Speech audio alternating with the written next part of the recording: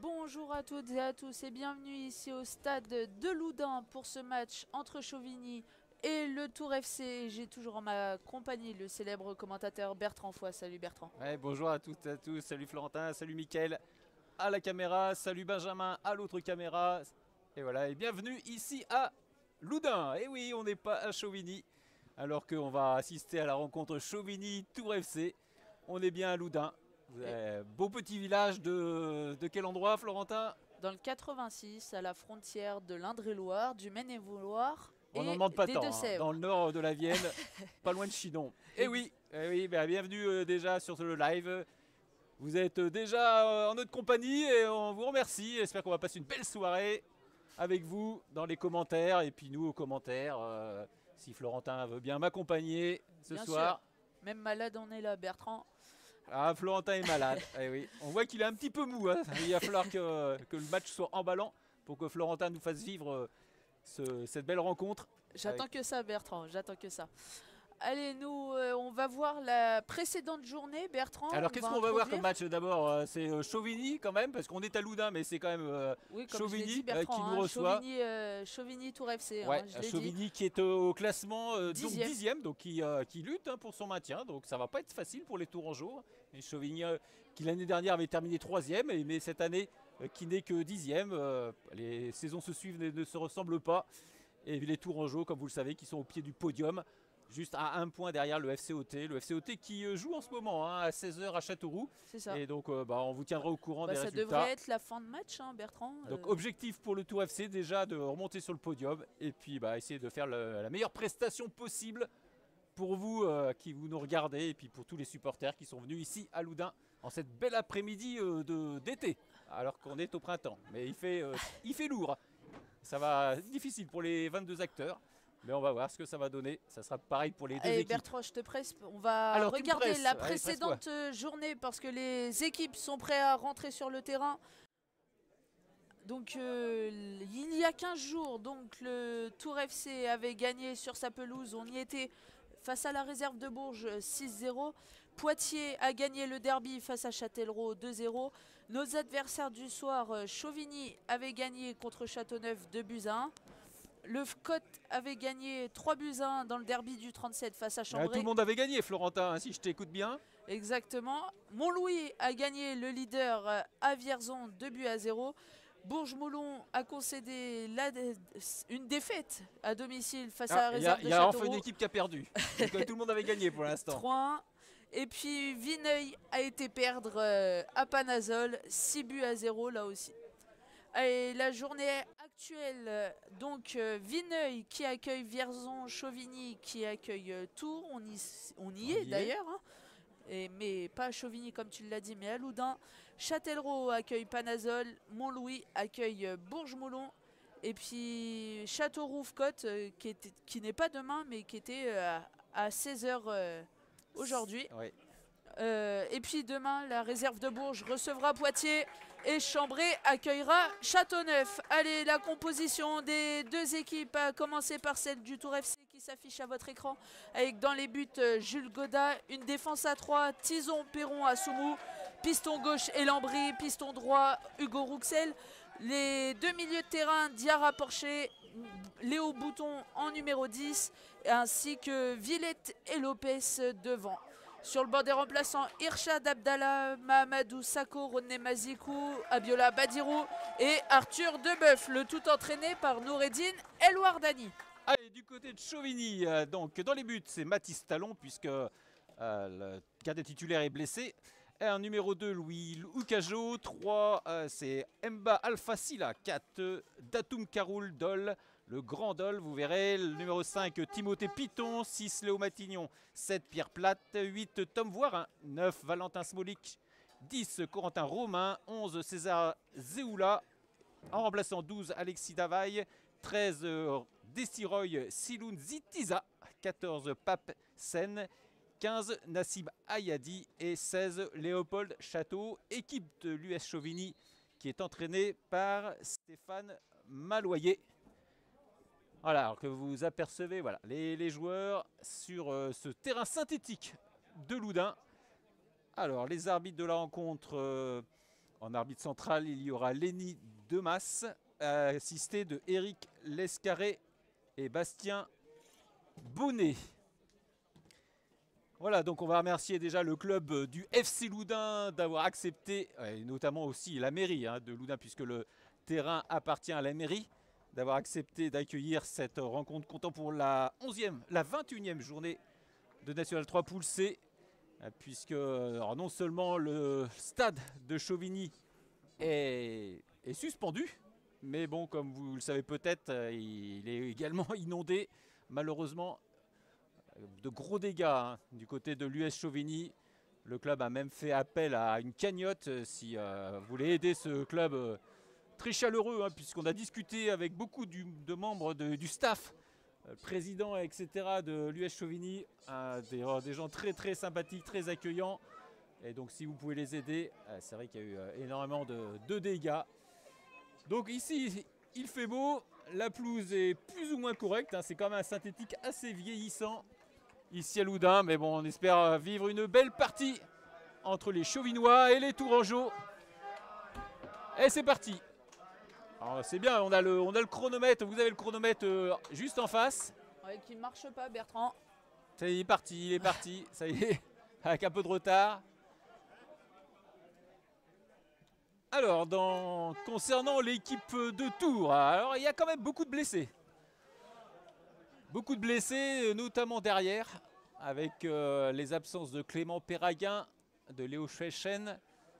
Léo Laïté. Et ainsi que Léo Laïté, ce qui fait que Noureddin El Wadani n'a plus trop de vraiment arrière-gauche euh, de métier. Euh, puisque Léo Laïté, Léo, les deux Léo Schechen sont absents. Et ce qui fait qu'il a. Alors je ne sais pas trop si ça va être une défense à 3 ou alors Mehdi Lambry, une défense à 4 avec Mehdi et Lambry. Mais non, on voit déjà que Mehdi était assez haut placé. Alors je vois Antoine Perron qui se positionne euh, en tant que latéral gauche. Regarde ça, Bertrand ah à l'opposé. Ah oui, effectivement. Donc déjà une, grosse surprise. Alors que euh, ça combine pas mal pour l'instant du côté de Tours. Ah, c'est Youssouf Diarra qui a essayé de trouver Mathieu Villette en profondeur. Un peu trop long. Allez, première petite euh, occasion pour les Tourangeaux. Allez, c'est Mathis Talon, le gardien chauvinois très jeune, qui euh, dégage. Loin devant. Et Julien Soubou qui met en touche. Alors du côté des absents de tour, euh, ah oui, alors euh, mauvaise surprise cette semaine, on a appris la blessure de Corentin Fosso. mercredi, hein. eh oui, fin de saison pour Corentin Fosso, qui était titulaire indiscutable en milieu de terrain depuis déjà quelques matchs et qui s'est blessé à la cheville plus ou moins un arrachement euh, du tendon. Euh. et donc euh, il sera plâtré dans quelques jours et ne pourra pas rejouer d'ici la fin de la saison qui va, qui va vite approcher hein, puisqu'on est à six journées de la fin. C'est vrai Bertrand. Hein. Pour une fois que tu dis pas de bêtises. Bah, pour l'instant, il n'y a que moi qui dis des choses, Florentin, donc toi, tu risques pas d'en dire. Ah, il faut qu'il chauffe, Laurent. Et si on regarde Bertrand avec Elambri qui a vu Mathias Lopez. Euh, belle intervention de Dole. Et au eh, bouton, qui décale Rouxel. Rouxel le centre. Contré.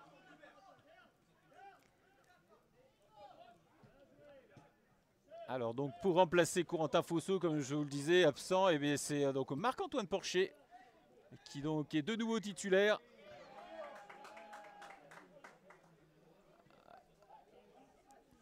Le numéro 3. Euh, eh effectivement, Marc-Antoine Porcher qui porte le numéro 3. Euh, qui touche le ballon justement. Et puis sinon, bah, au niveau de l'attaque, hein, un peu de surprise. Les deux meilleurs buteurs tourangeaux sont bien présents sur la pelouse. Mathieu Villette et Mathias Lopez. Donc qui seront assistés de Mehdi Lambry, puisqu'on voit bien que Mehdi Lambry joue devant. contrairement à ce qu'on aurait pu penser. Antoine Perron est bien euh, latéral gauche, Bertrand. Hein. Ouais, donc euh, Noureddin El n'a pas voulu changer hein, son système offensif avec les trois attaquants, euh, avec euh, aussi Léo Bouton en numéro 10 en appui. C'est Smolic qui avait effectué son premier match en National 3 au match aller à la Vallée du Cher face à Tours. Qui avait fait une euh, très bonne impression et qui fait de très bonnes euh, performances ces derniers temps. Mathieu Villette qui demandait le ballon dans les pieds. Il l'a finalement eu en profondeur. Enfin, il ne l'a pas eu du coup. Ah, vous avez de la chance hein, qu'on puisse faire cette retransmission parce que c'est vrai qu'on a appris qu'on que le match allait se jouer sur le terrain synthétique de Loudun. On a, on a pris peur puisqu'il n'y a, a pas de tribune en fait sur ce terrain synthétique et on se trouve dans la tribune du terrain d'honneur euh, qui se trouve juste derrière. Terrain d'honneur qui est occupé par le rugby ici à Loudun. Mais on a, on a quand même réussi à se mettre en haut de la tribune, dos au terrain d'honneur. Et puis finalement, bah, ça nous permet de voir euh, finalement de, de belles images, puisque je pense que ça, ça doit rendre pas trop mal. Allez, attention. C'est le numéro 11 qui centre au deuxième poteau pour personne.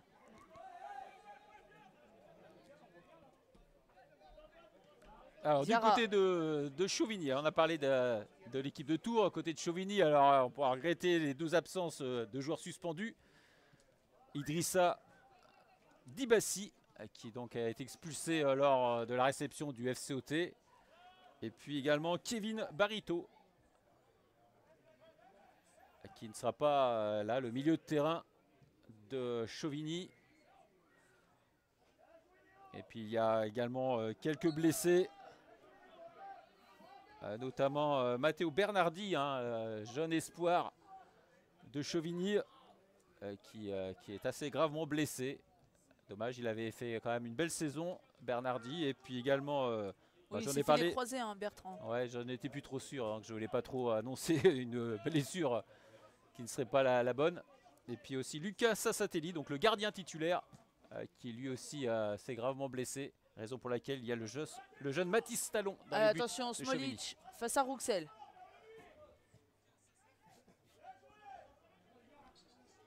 Attention au retrait, Assoumou qui s'est fait éliminer par Zéoula, je crois, Bertrand. Ouais, eh ben, c'est la première frappe de la partie alors qu'on joue depuis 6 minutes. Première alerte sur le but de Jules Goda. Ouais, César Zeoula, qui est donc euh, l'international de cette équipe de Chauvigny. Et Rouxel qui emmène le ballon. International euh, de Nouvelle-Calédonie. Grosse faute sur euh, Mathieu Villette. Du capitaine Datoum Karoul Dol. Ah, qu'on reconnaît bien, hein, Dole, et c'est euh, presque 2 mètres. Euh, qui, euh, qui est capitaine. Ouais, et qui a le brassard de capitaine. Ah, c'est vrai que sur les terrains synthétiques, comme ça, les tacles par derrière, ça fait mal, puisque la, la cheville est plus ou moins bloquée. Ah ouais, ça, serait un- voir, ça serait vraiment un coup dur hein, de perdre de Mathieu Villette dès le début de rencontre. Vous pouvez voir hein, sur les images, grâce à la caméra zoom, que Mathieu Villette a- doit souffrir au vu de ses gestes. Ouais, c'est euh, Benjamin, Benjamin l'homme qui est à la, à la manette de la caméra zoom. Et À puis, une main en euh, plus, Bertrand. À une main, très fort. Il faut dire qu'elle pas la il ne la bouge pas pour l'instant. Et chambreur euh, Florentin. Et puis euh, il y a également Mickaël Cheminard à la caméra principale. Qu'on remercie hein, les, les deux, les deux caméramans, puisque ils ont fait le déplacement avec nous.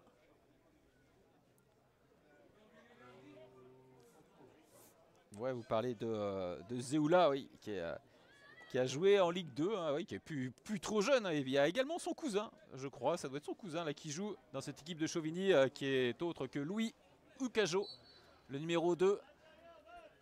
Euh, Mehdi Lambry pour frapper ce coup franc. Et bien Vers, tendu. euh, Il était hors jeu, Antoine Perron. Ouais, c'est bien, un beau, beau coup franc bien tendu. Alors que Bertrand, dans le chat, on nous informe que le FCOT a gagné un but à zéro sur la pelouse de la réserve de Châteauroux. Pas une très bonne opération pour les Tourangeaux, Bertrand. Ah, c'est clair parce que quoi qu'il arrive, ils resteront quatrième à la fin de cette 21e journée. En attendant toujours hein, la- peut-être un changement de, Décision. de décision concernant le match aller euh, Poitiers-Tours, puisque Le CNOSF a reçu euh, le Tour FC cette semaine. Très belle intervention de Benjamin Tison.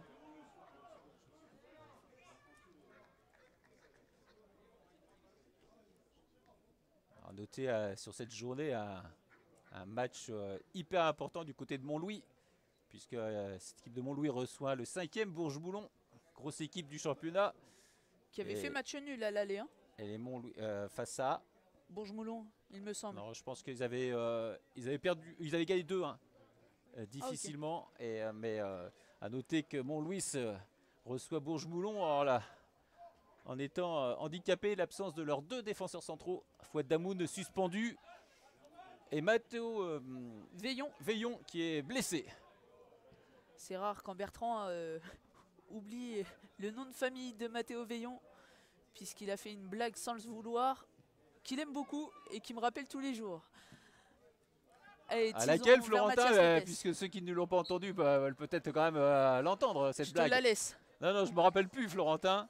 Veillon veille au grain. ça, ça te plaît bien celle-là.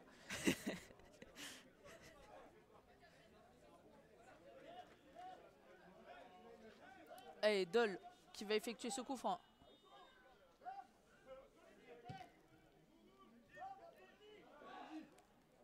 Smolic qui gagne son duel aérien sur euh, Benjamin Tison. C'est rare pour le souligner, hein, Bertrand. Ouais, Smolic, euh, il doit bien être pas loin des 1m90. En même plus, je pense. Ah, si tu veux, oui, avec les crampons, ouais, euh, peut-être. Allez, vers Mathias Lopez.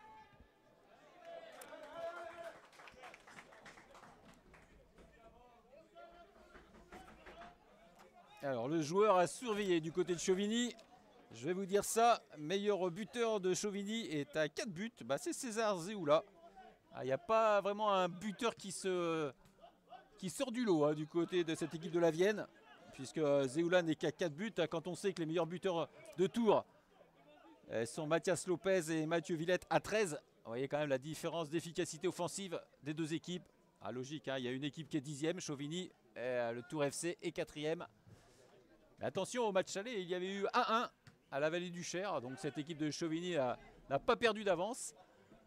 Et évidemment, on va se battre pour éviter euh, la, relé- la relégation. Il leur faut, euh, on a calculé 6-7 points. hein. Il reste 6 journées à, à jouer. 6-7 points pour que l'US Chauvigny rempile en N3 l'année prochaine.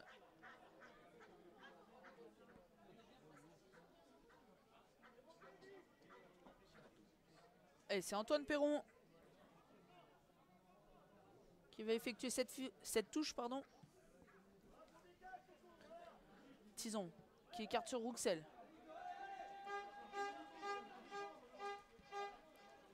Tison.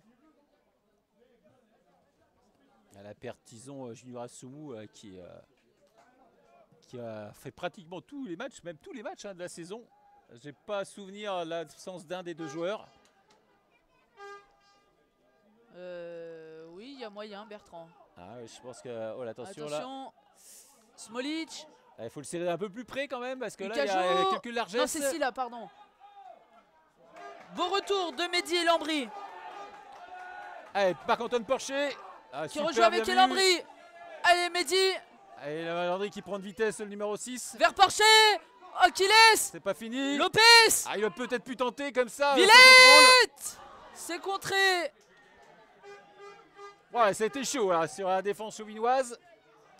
Un beau contre bien mené. Villette Première euh, grosse occasion sur le but de Chauvigny, hein, Bertrand. Ah, Mathias Lopez peut-être quand même pu tenter là, euh, tout de suite en première intention. Ou peut-être Porcher au lieu de la euh, laisser passer. Non, Porcher, Marc-Antoine était encore loin. hein, il était quand même encore à 40-35 mètres. Oula, Bertrand, pas du tout.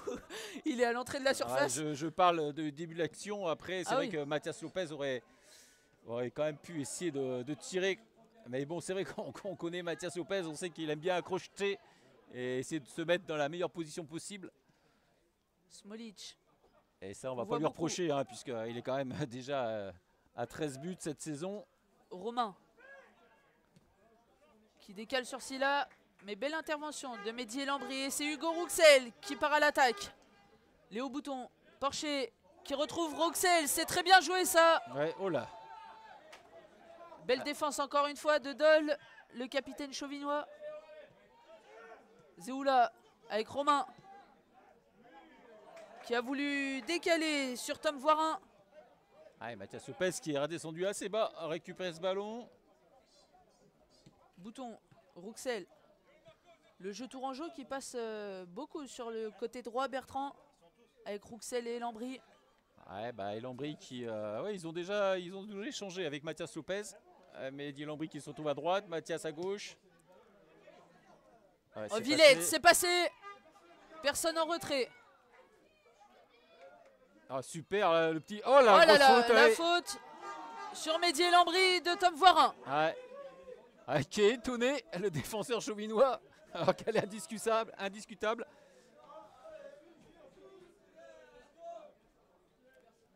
On salue le, frère de Tom Voirin, hein, je pense qu'il regarde le live. Ah, Il y a des supporters chauvinois, euh, certainement derrière leurs écrans. On les, salue. On va, on va essayer d'être le moins chauvin possible, Florentin. C'est vrai. Elle était bien. Bertrand est content, il rigole. Aucun rapport avec chauvinois, hein, chauvin. hein. Ouais, ouais, j'avais compris. il rigole. Allez, c'est un coup franc pour Antoine Perron, ça, Bertrand. Ah oui. Allez, Antoine. Ah, il a Souvent, quand c'est cadré, ça fait but. Ah ouais, beaucoup De la part d'Antoine hein. Perron. Oh là là là là Antoine Perron qui met ce coup franc sur la barre. Ah, il y avait la puissance. hein. Je ne sais pas si euh, Mathis Talon aurait pu la toucher.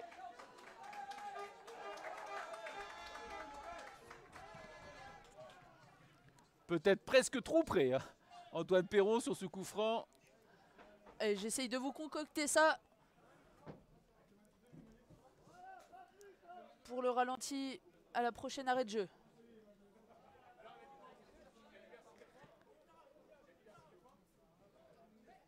Et Roussel qui, euh, qui sert euh, Mathieu Villette.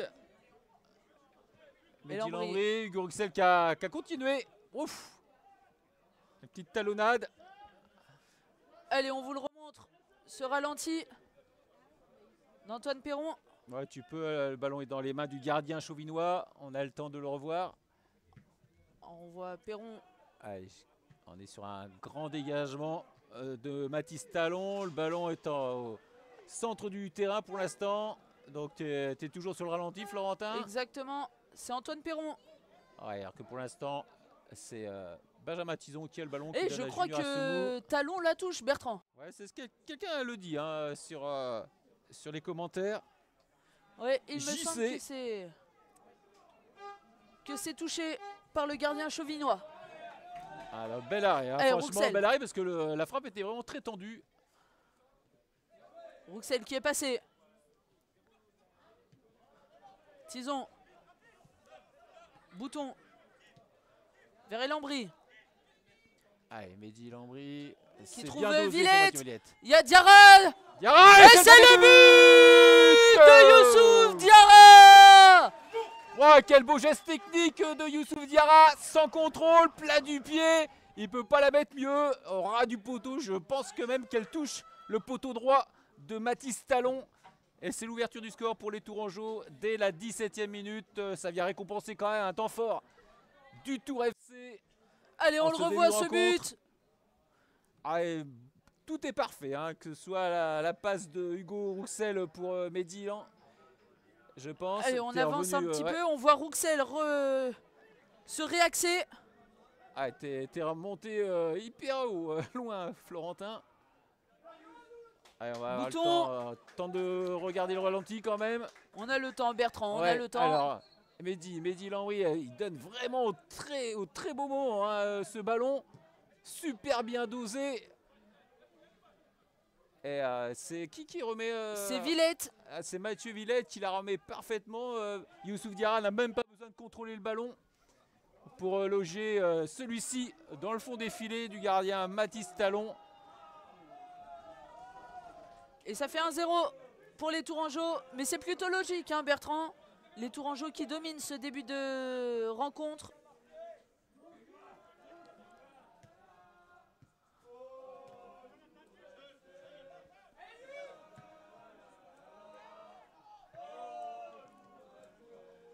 Les supporters tourangeaux qui sont à côté de nous, Bertrand, sont contents. Hein. On les entend chanter. Ouais, beau début de match du Tour FC. Effectivement, concrétisé par ce euh, beau but de Youssou Diarra qui en marque pas souvent. C'est pas une de ses qualités premières de marquer des buts. Youssou Diarra, c'est plus de, de travailler au milieu de terrain. Je pense même que, eh ben, que c'est son premier but de la saison.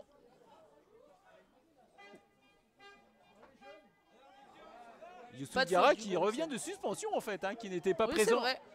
Il y a 15 jours lors de la réception de Bourges. On vous le rappelle, hein, belle victoire des Tourangeaux 6-0 face à Bourges.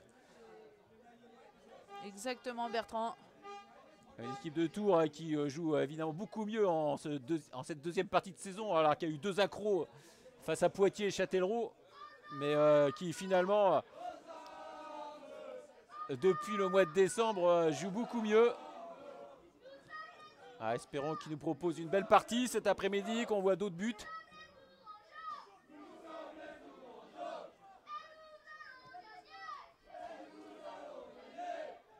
Allez, vous les entendez, les supporters tourangeaux derrière nous.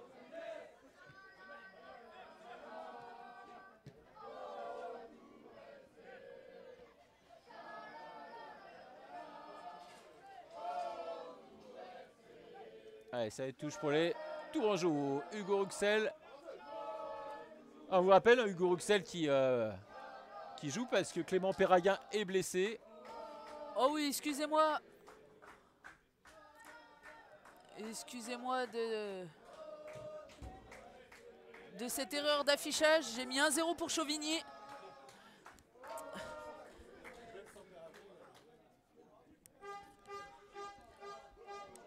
Oui, effectivement, hein, je me fais reprendre. euh, Hugo Ruxel ne joue pas parce que Clément Perraguin est, là, est pas là. hein, c'est parce que euh, il, est, au moins aussi bon, voire meilleur. Mais euh, oui, c'est effectivement Hugo Ruxel a bien gardé, sa, a gagné sa place de titulaire sur le terrain. Mais bon, c'est vrai qu'en début de saison, c'était plutôt Clément Perraguin qui était titulaire. Et puis depuis pas mal de matchs, maintenant c'est Hugo Ruxel.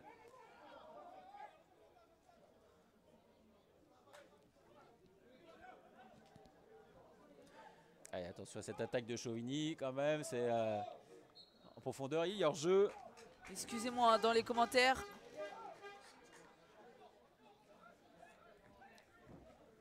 Ouais, puis il faut dire que Florentin, aujourd'hui, euh, il gère aussi les deux caméras. D'habitude, il y a Lexane euh, qui est avec nous pour euh, gérer les caméras, c'est-à-dire pour choisir quel plan Caméra. de caméra vous mettre à l'écran. Mais là, ce soir, c'est Florentin qui le fait. Alors, entre euh, commenter le match, s'occuper des caméras, faire les ralentis, regarder aussi un petit peu les filles qui sont dans les tribunes, etc. etc. Euh, il a beaucoup de boulot, Florentin. N'importe quoi, Bertrand. Il est chambreur euh, ce soir, le Bertrand Foy. Il rigole. Je ne rigole pas, je suis sérieux, Florentin. Allez, Rouxel. Fais-nous un petit démenti là, Bertrand, parce que. Allez, on- maintenant les Tourangeaux qui gèrent euh, leur avance d'un but. Allez, Euh, tout en maîtrise pour l'instant. Porcher. Qui a vu l'appel de Villette. C'est dommage. Ouais, mais c'était bien coupé, hein. Bien coupé par le défenseur chauvinois. Je ne sais pas qui c'est par Ouais, on voit pas son numéro.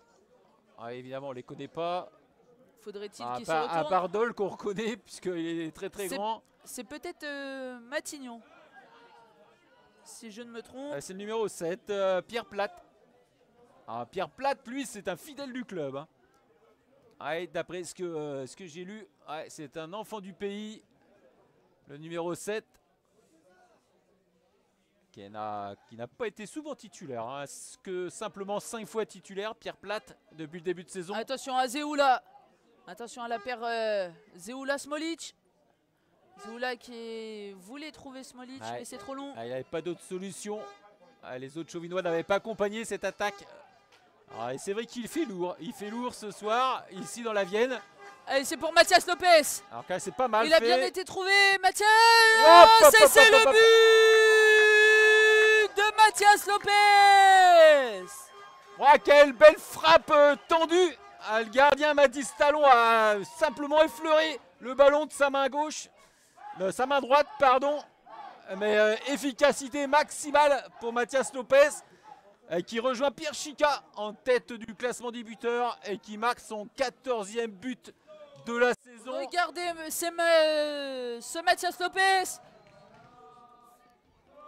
qui va trouver le petit filet opposé.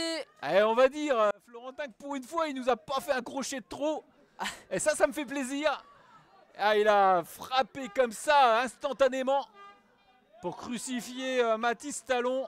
Ça, c'est un beau but. Et Mathias Lopez, 14 buts. Et l'année dernière, il avait terminé la saison à 19. Ah, il reste encore 6 journées. Pourquoi pas égaler son score de l'année dernière?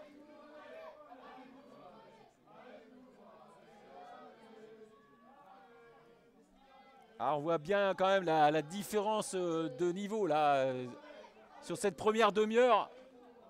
Des Tourangeaux euh, pas encore trop inquiétés et efficaces. On va dire des Tourangeaux efficaces des deux côtés du terrain.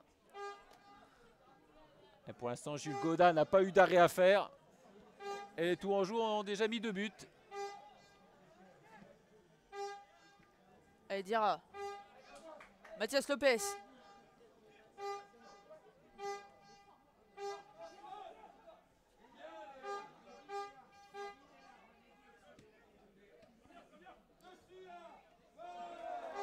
Déjà, ouais, effectivement, hein, c'est une belle passe décisive pour Mathias Lopez. Et déjà, la semaine dernière, j'avais euh, noté qu'il y avait eu un- vraiment un beau jeu collectif des, des Tourangeaux face à Bourges avec des buts euh, systématiquement marqués grâce à des passes décisives, pas avec des exploits individuels. C'est là qu'on reconnaît la qualité de jeu du Tour FC depuis déjà euh, pas mal de matchs. Une équipe de Tours aussi qui tourne un, peu moins, hein, donc les automatismes se créent. En début de saison, Nouré avait du mal à trouver son 11 type. Et c'est vrai que maintenant, il y, a- il y a beaucoup moins de changements. Euh, ça se ressent dans la fluidité du jeu. Allez. Perron qui veut trouver Mehdi Lambry. Allez, Tison. Ah, Une équipe de Tours qui est déjà dans sa moyenne de buts marqués. Avec ses deux buts marqués, puisque euh, depuis le début du championnat, ils sont à 2,15 buts de marqués par match. Mais on peut espérer qu'il y en ait d'autres. Ce soir, ici à Loudun. Attention, on est à 1 contre 1 quand même.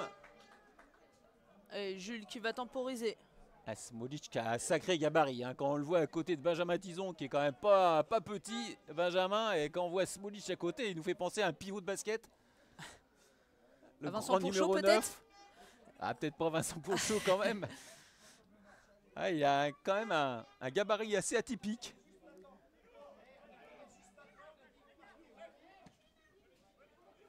Ah, c'est dommage cette passe euh, d'Hugo Rouxel.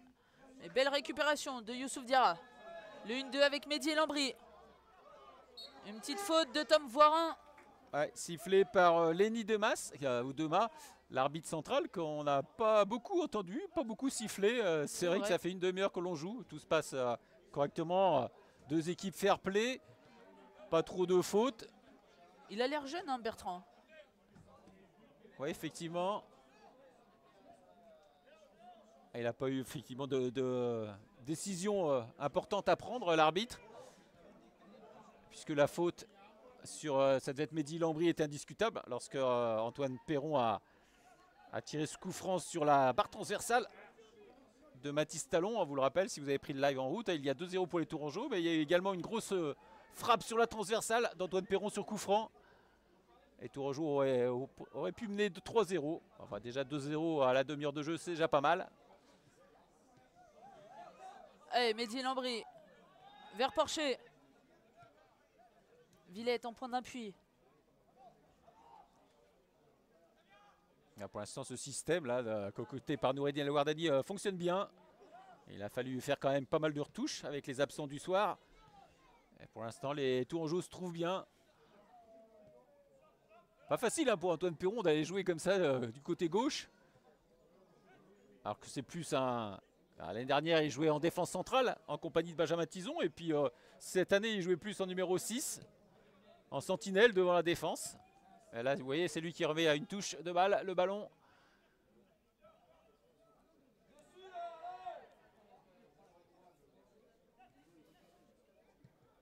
Attention, contre-attaque euh, très bien stoppée par Benjamin Tison. Ah, bien anticipé, hein, Benjamin Tison, sur cette balle en profondeur.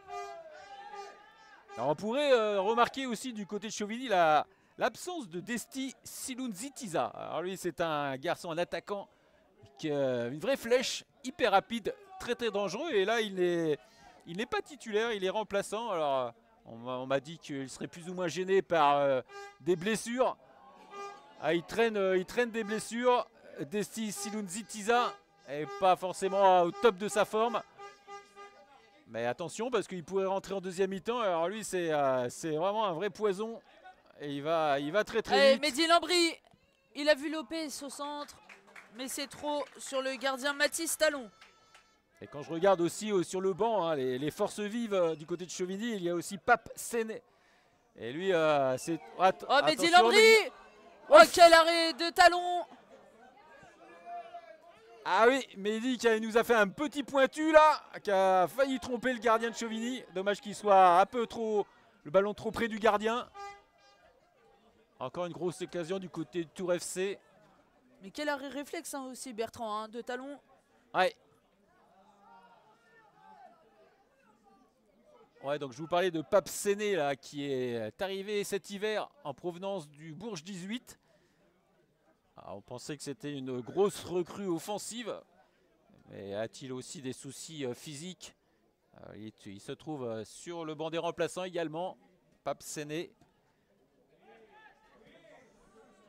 Ah, un tout petit peu trop long pour Mathias Lopez.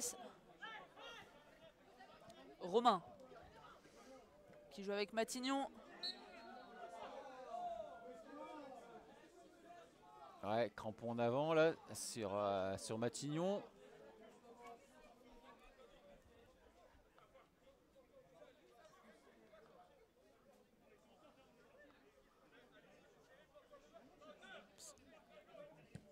Et Dole qui dégage.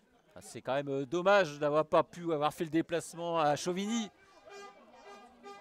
Puisque euh, il paraît qu'il y a une ambiance de folie là-bas à Chauvigny. ils, étaient, ils étaient plus de 800 hein, face au Scott.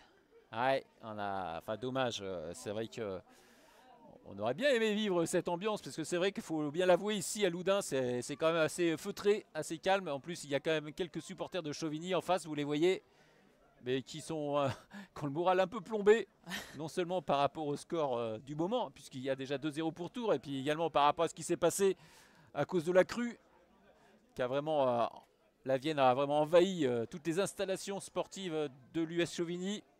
Bah, on m'a dit avant le match qu'on pouvait jouer sur le terrain de Chauvigny. Bah, peut-être que toute la semaine ils ont travaillé. C'est vrai qu'il y a eu une décrue assez rapide. Peut-être que la ville a travaillé, même j'ai entendu dire les bénévoles hein, du club ont travaillé pour nettoyer le plus vite possible.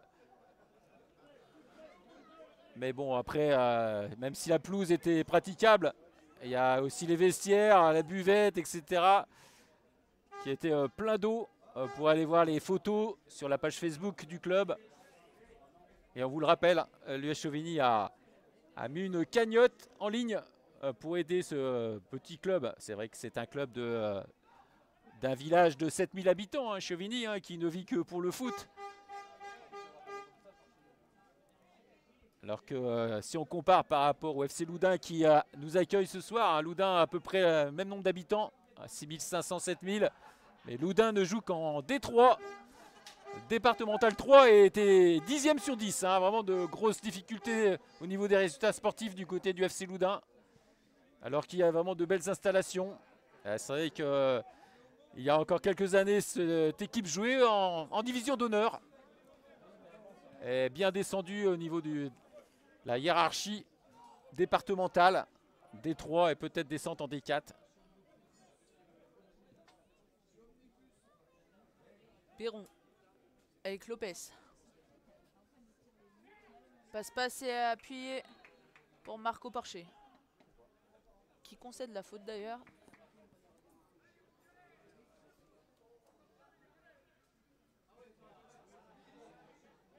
Alors Loudun, euh, pourquoi ça se joue à Loudun? Parce que la FFF donc, a suspendu le stade de Chauvigny et également a demandé est-ce que le Chauvigny joue à 50 km, enfin au moins à 50 km de Chauvigny.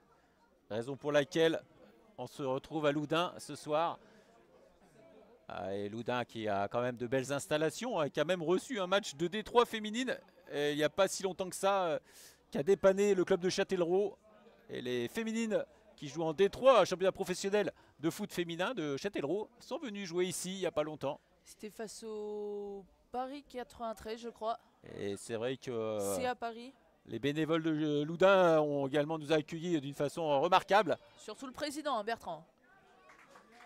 Entre autres. Mais Effectivement. que ce soit Loudun ou Chauvigny, on a été très très bien accueillis. Ouais, ils ont même voulu te servir une bière, euh, Florentin. à consommer avec modération. Je rigole, hein, Florentin reste au coca, pour l'instant il n'a que 17 ans.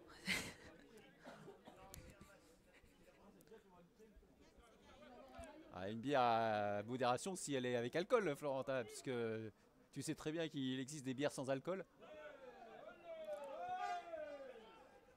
Il rigole. C'est pas si drôle que ça, hein, Bertrand.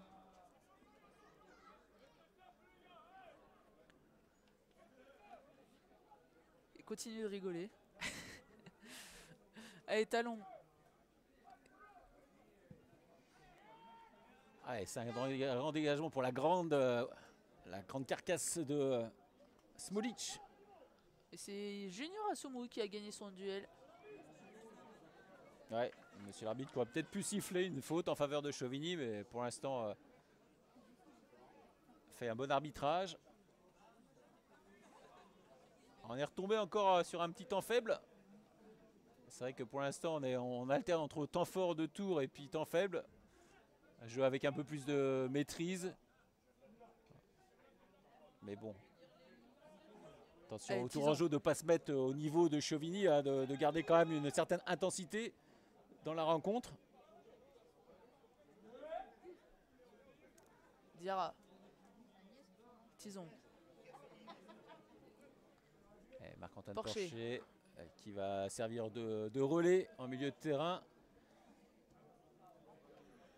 Alors c'est vrai qu'aussi il fait quand même assez lourd ce soir et ici et puis euh, donc euh, peut-être que les organismes aussi ont besoin de, de souffler c'est vrai que c'est plus facile euh, quand on est dans notre chaise à commenter.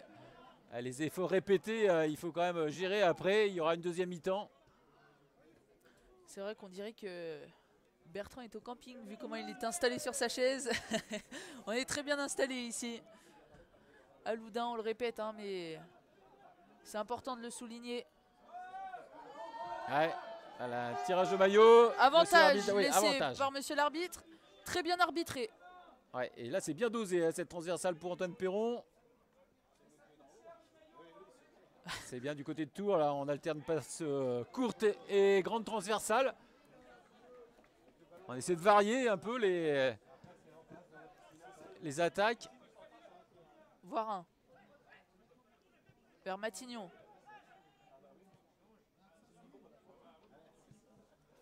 Avec Piton qui décale sur euh, Ucajo. Joue toujours. On voit que les, joueurs sont, qui est monté. sont pas trop gênés à part cette pelouse synthétique. On voit pas trop de mauvais contrôle, euh, des, bonnes passes. Ah, les joueurs se sont vite adaptés à ce terrain synthétique. Euh, bon, pas, pas tout neuf. Ah, c'est pas le synthétique de Châteauneuf-sur-Loire. C'est vrai après, les Tourangeaux, eux, sont plus habitués à jouer sur du synthétique puisqu'ils ont un terrain d'entraînement synthétique, alors que du côté de Chauvigny. Euh, bah, pas qu'un. Hein. Oui, pas qu'un, mais bon, ça suffit, hein, Florentin. C'est vrai. Et euh, par contre, du côté de Chauvigny, c'est pas, je pense pas qu'il y, ait, ait de synthétique là-bas. Allez, bouton le centre. Il faut y être au second, euh, second ballon. Rouxel. Rouxel qui est passé et qui concède la faute sur euh, Silla. Ouais, en trébuchant, il est tombé sur le défenseur chauvinois. Allez, 38e minute. Ah, vous l'appelle, hein, pour ceux qui ont pris le live en route. Euh, ouverture du score à la 17e minute par euh, Diarra. Et à la 24e, Euh, C'est Mathias Lopez qui a doublé la mise pour les Tourangeaux. Et on est à 2-0. Et il reste 5 grosses minutes avant la pause. Alors un Jules Godac qui n'aura bah, rien eu à faire. hein. C'est une première frappe à la sixième minute. Oui, effectivement, ça y est, elle me revient. Assez facile à stopper. C'est vrai qu'à 58 ans, la mémoire peut jouer des tours. Ouais, c'est pour ça que tu m'accompagnes, Florentin. Autrement, j'aurais pas besoin de toi. Mais si t'es indispensable, mon Florentin, ne te vexe pas. Euh, Sans moi, euh, Il y tu de pourrais pas le faire déjà. tout ça, Bertrand, hein, parce que la technique, c'est pas ton fort. C'est ce qui est clair. Allez, Antoine Perron. Antoine Perron, là, on joue. Il y a un répond 3 contre 3. Un 3 contre 3 et l'occasion Allez, de c'est vers euh, Mathias. Lopez Et il y a Mathieu Villette Ah, c'est le contre qui tombe juste à côté du poteau. Oh, ça aurait été un but chanceux, mais bon, euh, Mathias Lopez avait contré le dégagement de, de Mathis Talon. On aurait pu avoir un but de gag. Très belle sortie d'ailleurs de Mathis Talon Bertrand. hein. Ah, et puis c'est vrai que sur le synthétique, là, le ballon rebondit, rebondit, rebondit, s'arrête jamais et pas trop freiné. Qu'on- au début, on avait pensé que euh, l'ouverture pour Mathias Lopez était, euh, était bonne, bien dosée. Puis finalement, euh, un peu trop long. Une petite faute de Junior Assomo sur Valentin Smolic. 58 ans et 2-3 bières. Qu'on nous dit dans le chat. C'est JC qui nous dit ça. Non, pas 2-3. euh, Qu'une. Qu'une suis- pour le moment. Voilà, j'allais dire, je me suis autorisé à une parce que c'est vrai qu'en arrivée, il faisait quand même 24 degrés cet après-midi euh, ici. euh, et c'est vrai que comme Florentin a monté le matériel très rapidement, on a eu le temps de prendre un petit plaisir en discutant avec D'ailleurs, les bénévoles de Chevigny. Bertrand, si- s'il y a quelques manques. S'il y a quelques manques au niveau de la caméra de la part de Michael, c'est de la bière peut-être. Là, vous pourrez dire le caméraman est bourré. Ah, c'est pas parce qu'il boit une bière ton père qu'il est bourré. hein. Florentin, t'exagères. Hein tu vas te faire punir.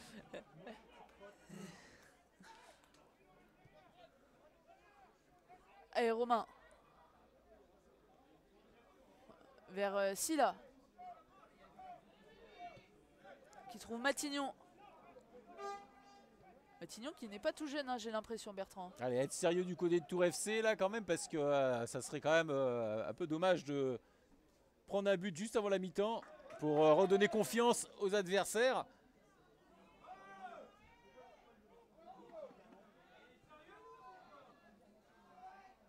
Allez, c'est Porcher vers Villette.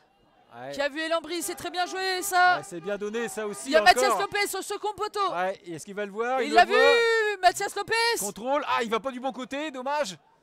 Ah, il est parti sur son pied gauche. Ah, c'est vrai que Doll l'attendait sur son pied droit, donc on peut comprendre que euh, c'était un peu fermé du côté droit. Ah, puis pas évident hein, de contrôler ces ballons. hein, vous avez vu, hein, vous voyez sur la, caméra, les ballons ils, euh, ils rebondissent. Et c'est vrai, c'est pas les mêmes rebonds que sur herbe. Et on a vu Mathias Lopez avoir du mal à contrôler ce ballon. Et dommage, hein, parce que Mehdi Lambry avait été bien servi. Il a fait un petit contrôle euh, qui est parti sur la droite. Et il a perdu un petit peu de temps. Mais bon, il avait quand même réussi à, donner un super ballon à Mathias Lopez, qui aurait pu être une passe décisive.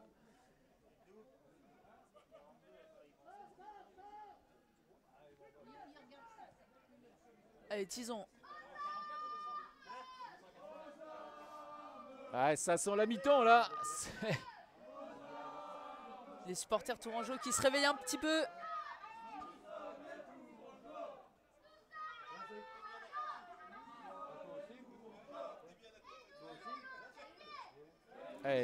Tourangeau qui font courir les Chauvinois sur ces dernières minutes, dernières secondes de la première mi-temps.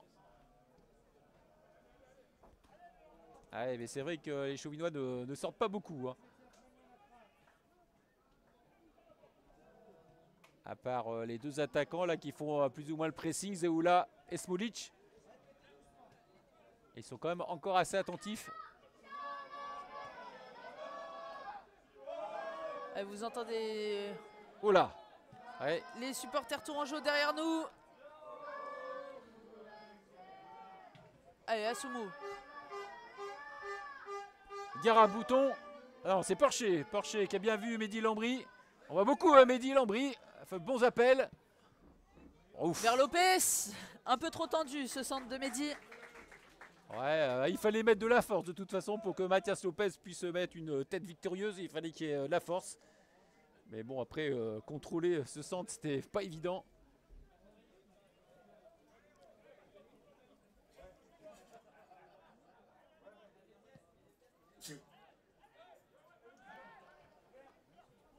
On vous le rappelle, hein, le gardien de Chauvigny n'est pas le gardien titulaire. Puisque le gardien titulaire, c'est normalement euh, Lucas Sassatelli. Mais qui est euh, blessé. Euh, c'est pour ça que Mathis Talon le remplace. Et Mathis Talon est très très jeune. Hein. Je vais peut-être dire une bêtise, mais je crois qu'on m'a dit qu'il n'avait que 19 ans. Vous comprenez bien qu'il n'a pas trop d'expérience. Hein. Pour un gardien, 19 ans, c'est très jeune. De jouer en N3 que jouer en district, euh, c'est un peu l'âge moyen. Ouais, alors que ça fait quand même euh, 7 journées hein, que Mathis Talon euh, joue dans les buts. Euh, Sassatelli avait fait les, les, 13 premières journées de championnat et Mathis Talon les, les 7 autres. Donc il a, il a quand même engrangé un petit peu d'expérience. Il a joué quand même quelques matchs en N3 déjà Marco Porcher qui s'est fait bouger par Tom Voirin. Après, euh, sur les buts qu'il encaisse, euh, il, ne peut, ne peut rien, ce gardien chauvinois. deux fois, les ballons euh, se sont retrouvés au ras du poteau pour rentrer finalement. Combien de temps additionnel On ne sait pas, il n'y a pas de speaker ici à Loudun. Mais c'est sûrement la dernière action de cette première mi-temps avec un coup franc tiré par Corentin Romain.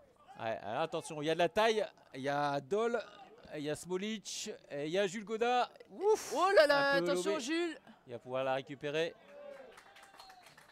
Et c'est la mi-temps. Ici à Loudun sur ce score de 2 buts à 0 pour les Tourangeaux. Avec un but euh, marqué par euh, Youssouf Diarra qui ouvre le score à la 17e minute. Et puis c'est Mathias Lopez qui enfonce le clou. 7 euh, minutes plus tard, à la 24e minute de jeu, ici sur le synthétique euh, annexe de Loudun, face à Chauvigny. Bertrand, euh, un score plutôt logique ah sur, au vu de cette ah première mi-temps. Ah tout à fait, les, Tourangeaux ont, ont, mis le minimum, ils auraient peut-être pu mettre 3-4 buts. Vraiment de, belles phases offensives, euh, des, actions, des opportunités. Il y a eu des matchs où les Tourangeaux avaient du mal à se créer des actions. Là, ça n'a pas été le cas. Et puis au niveau défensif, bah, Jules Godard, comme tu me le rappelles, a eu un arrêt à faire euh, dès le début de match. Et puis euh, c'est tout, à quelques sorties aériennes, comme on l'a vu juste avant la mi-temps, sur ce dernier coup franc. Mais bon, les, les Tourangeaux ne sont pas en danger. Ce soir, maîtrisent bien, sont efficaces. Mais bon, euh, j'espère qu'ils vont nous proposer euh, d'autres belles actions, de nouveaux buts. Peut-être pas forcément un 6-0 comme on l'a eu il y a 15 jours, pourquoi pas. Mais bon, euh, nous, nous, nous, montrer des buts pour qu'on puisse passer à une belle deuxième mi-temps en votre compagnie. Exactement Bertrand. Allez, peut-être passer le classement des buteurs pour pas que je reçois... Ouais, puis surtout que Mathias Lopez a, marqué. Alors, en cette première mi-temps. Donc oh, vous avez vu là, eh ben oui. Donc là, euh, Mathias Lopez qui passe euh, en tête avec Pierre Chica. On rappelle Louis qui va débuter son match d'ici 10 minutes face à Bourges-Moulon. Bourges-Moulon qui a deux buteurs hein, dans le top 15, euh, tu as fait? Ouais, et eh bah ben, oui, s'il y en a s'il y a 15 joueurs, c'est que c'est le top 15. Alors je sais pas, je faut que je compte Bertrand 3 7 8 9 10 13. Euh, donc on pourra remarquer hein, au niveau du classement des buteurs que toutes les équipes qui sont en tête du classement ont euh, au moins euh, un voire deux buteurs, mais surtout deux. Hein, Montlouis avec Pierre Chica et David Zulana. Tour Mathias Lopez, Mathieu Villette. Le FCOT Brian Guédon, Brandon Daddy.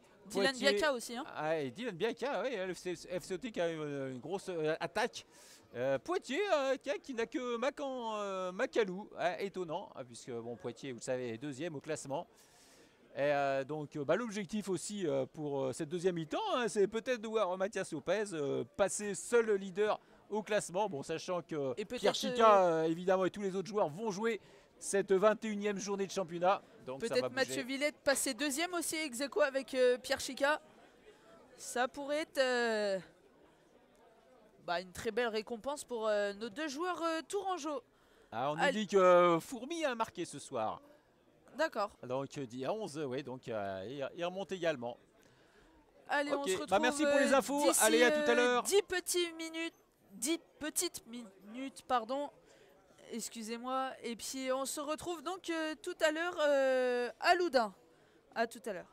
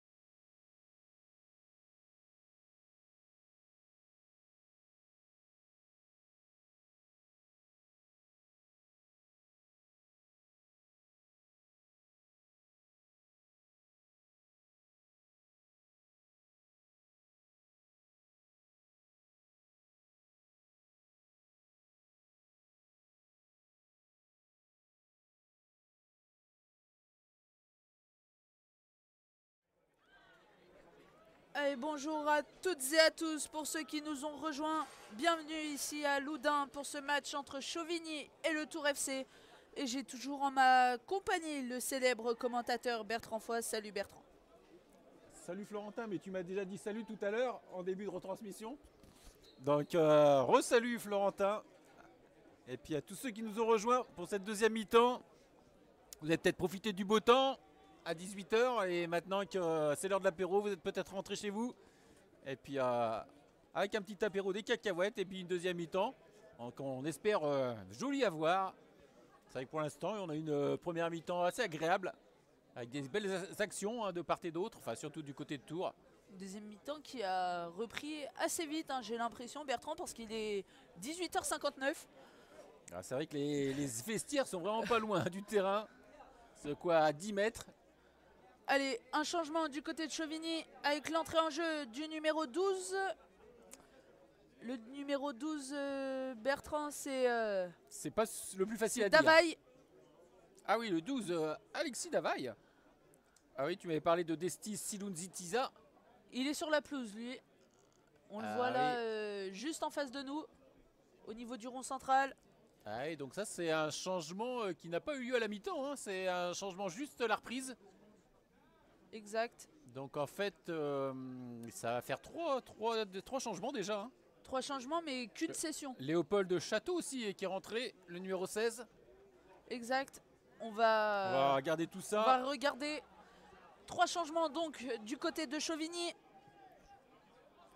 On voit la sortie de Zéoula. Zéoula qui est sorti. César Zéoula.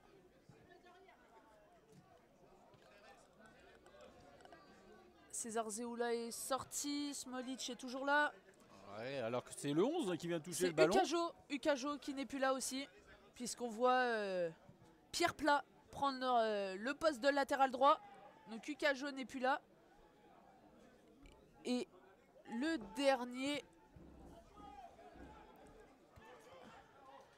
Attention. C'est la première fa- frappe pardon, du, de cette deuxième mi-temps. Ouais, De la part surtout de Destiroy euh, Silun Zitiza. Ouais, c'est ce que je voulais dire. hein. Belle entrée hein, du remplaçant, du numéro 13. Non, César Zéoula est toujours là. Mais oui, c'est c'est ce que je regardais. hein, Le numéro 11 est toujours là, oui. Je vois le numéro 15 aussi sur la pelouse. Oula, je je comprends plus rien.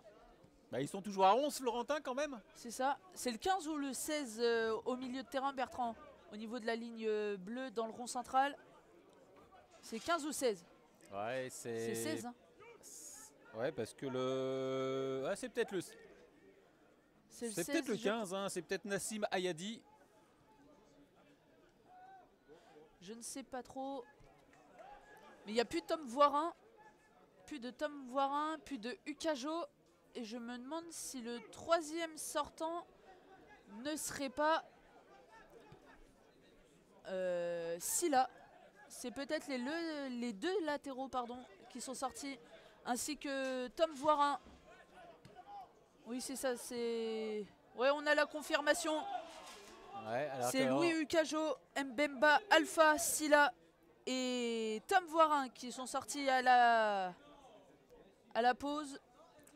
Et c'est donc euh, Destiroy, Silun, Zitiza, euh, Léopold Château et Alexis Davaille qui sont rentrés. Enfin, je crois que c'est Château. Soit Château, soit Ayadi. Ouais, c'est pas À prendre avec des pincettes. Entre le 15 et le 16, effectivement, c'est pas évident à voir. Du jaune sur du rouge. Après, ça m'étonnerait. euh, Non, Tom Voirin, c'est celui qui a le ballon dans les pieds. ah, il est toujours là, le numéro 8. Oui, c'est ça. Alors, euh, Ah, il y en a qui sont sortis, hein, quoi qu'il arrive, Florentin. ce qui est sûr, c'est qu'il y a Ukajo et Silla. Ça, c'est une certitude. Ukajo, Silla. Et le 5 aussi, Timothée Piton, qui est sorti. Ouais, qui a été remplacé par euh, Léopold Château. Donc Euh, Alexis les... Davaille plutôt, qui est, qui est en défense. Donc voilà les trois sortants du côté de Chauvigny. Enfin, quoi qu'il arrive, euh, Stéphane Maloyer doit pas être trop content de la première mi-temps de ses joueurs. Parce que euh, faire autant de changements comme ça dès, euh, dès le début de la deuxième mi-temps. Ah, ça veut dire qu'il veut, il veut autre chose. Alors il y a peut-être aussi des joueurs blessés.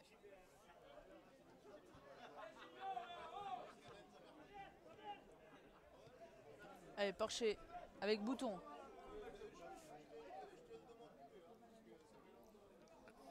Porcher, Il faut que ça bouge. bouton. On le rappelle, hein, les Tourangeaux qui ont marqué à la 17e minute par l'intermédiaire de Youssouf Diarra. Ouais, son Et premier but de la saison. Et 7 minutes euh, plus tard, c'est Mathias Lopez qui vient doubler la mise pour les Tourangeaux à la 24e minute. Alors on va voir hein, si c'est le 15 ou le, ou le 16, puisque euh, il est pas loin de nous. C'est le 15. Ouais, c'est le 15. Donc c'est bien euh, Ayadi. Nessim Ayadi. euh, qui lui aussi hein, est au club depuis un certain temps. Euh, il ne fait pas partie des recrues. J'ai regardé au niveau des recrues. euh, et donc cette année, les nouveaux joueurs sont Ukajo, qui vient de Châtellerault, Davaille de Liguré, qui joue en R1. Et c'est un retour hein, pour lui, De l'île de Ré? de Liguré. Ah. Ouais. Après, je regarde également Léo Matignon, qui était à Neuville. Valentin Smolic, également à Liguré. Et Tom Voirin, de 50 ans en N2. hein. Tom Voirin, un beau CV. Et Attention à cette passe euh, en retrait d'Hugo Rouxel vers Smolic. Voirin qui centre une touche pour plat. Et il y a face à Mehdi Lambry. Desti Silunzitiza, là pour terminer, dans ce que j'avais commencé à, à faire, regarder tous les nouveaux joueurs de cette saison. Enfin, de cette saison, ils sont plus trop nouveaux, hein, puisque on est presque à la fin du championnat, déjà, bientôt. Matignon qui écarte vers Voirin. Il y a une physionomie euh, différente. hein. Deuxième frappe hein, de l'entrant d'Estiroy euh, Silunzitiza. Ah oui, là, vraiment un gros changement de physionomie entre la première mi-temps et le début de cette deuxième. On a l'impression que les Chauvinois, euh, déjà, euh, lancent, euh, lancent tout dans la bataille. Ah, Peut-être un peu trop craintif en première mi-temps, les hommes de la Vienne. Ils ont peut-être craint trop les Tourangeaux. Et là, maintenant, ils, ils lâchent tout. Et c'est vrai que les changements ont l'air pour l'instant profitables.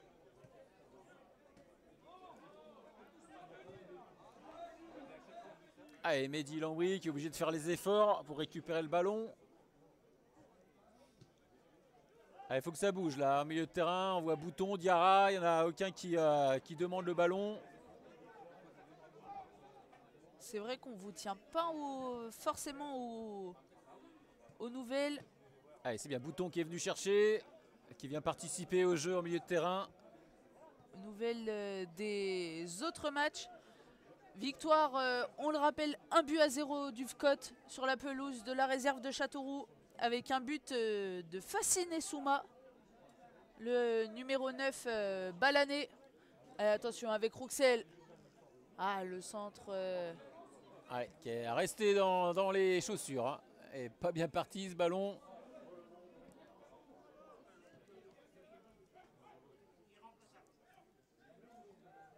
Ouais, il, a- il apporte déjà euh, de la touche technique. Ce numéro 15, Nessim Ayadi. Châtellerault qui est à la 48e minute de jeu sur sa pelouse face à Panazol et qui gagne euh, un but à zéro par un but de Christopher Fourmi. Ah, et dont on a parlé hein, juste avant de rendre l'antenne. Christopher Fourmi là, qui, a, qui va passer à, à 11 buts. C'est ça. Attention avec euh, Voirin. Chauvigny qui domine dans ce début de seconde période. Et on vient de nous dire 2-0 pour Châtellerault. face à Panazol. Exactement. Ouais, ouais, Panazol hein, qui, euh, qui va peut-être avoir du mal à finir la saison. Équipe surprise. euh, Et oui, un but à la 47e minute de jeu de Châtellerault. Un but euh, signé du capitaine et l'inévitable Kevin Vergerol.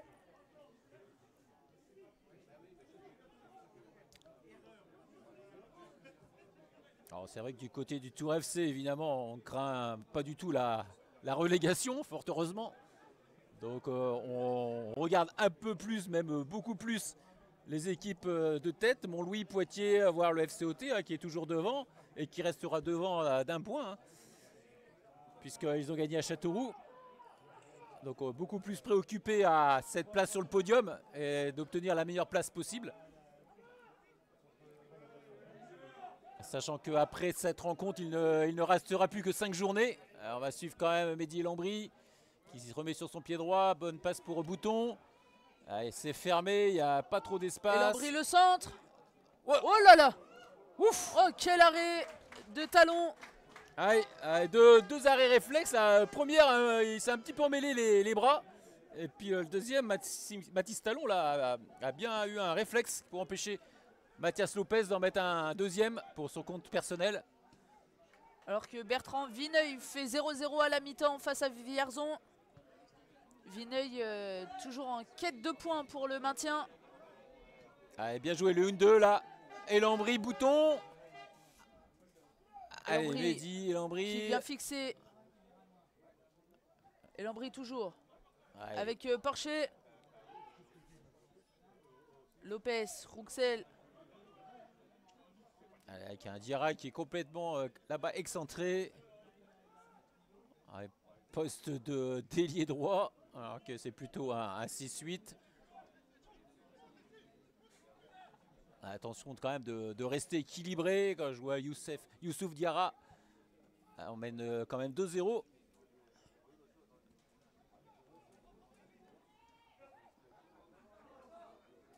Heureusement, Marc-Antoine Porcher reste en sentinelle devant sa défense. Au cas où. 6 mètres pour euh, les Chauvignois.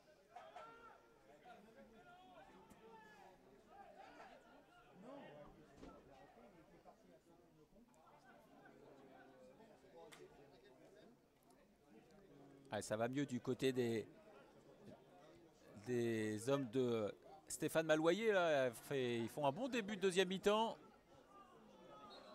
Petite obstruction de Hugo Rouxel sur euh, Zéoula. Alors c'est vrai que les Tourangeaux menant 2-0, euh, ils n'ont pas forcément à, trop pousser. Alors nous on aimerait bien hein, pour le spectacle, qu'on vive une belle deuxième mi-temps. Mais bon là il y a un score à gérer. Il y a aussi les efforts à gérer. Allez, un autre euh, changement du côté de Chauvigny avec l'entrée en jeu du numéro 14, Pape Séné. Et c'est la sortie de Valentin Smolic. Un des rares qu'on reconnaissait, hein, Florentin. On n'avait pas besoin de regarder son numéro pour le citer. Très très grand, hein. il est juste devant nous. Ah oui. Alors l'énigme Pape Séné ah, je vous l'ai dit en début de retransmission, euh, un joueur recruté au Bourges 18, club de N2 hein, quand même, euh, cet hiver, mais qui finalement n'a été titulaire qu'une seule fois, alors qu'il est là quand même depuis cet hiver.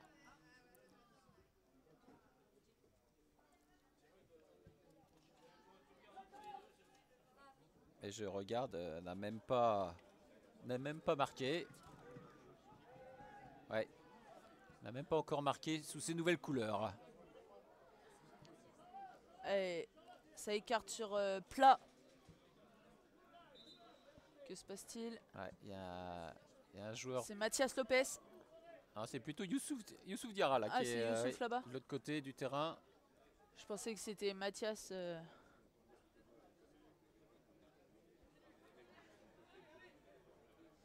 Et un changement du côté du Tour FC avec l'entrée en jeu de Mamadou Sako.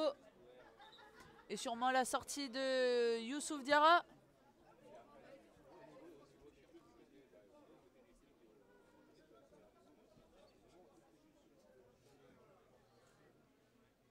Ouais, ça a l'air d'être ça. Alors qui tape la discute avant de sortir. Avec Matignon. Ouais, c'est peut-être Matignon justement qui lui a amené, euh, qui l'a un petit peu blessé. Ah, tout ça euh, avec un bon esprit, ça discute.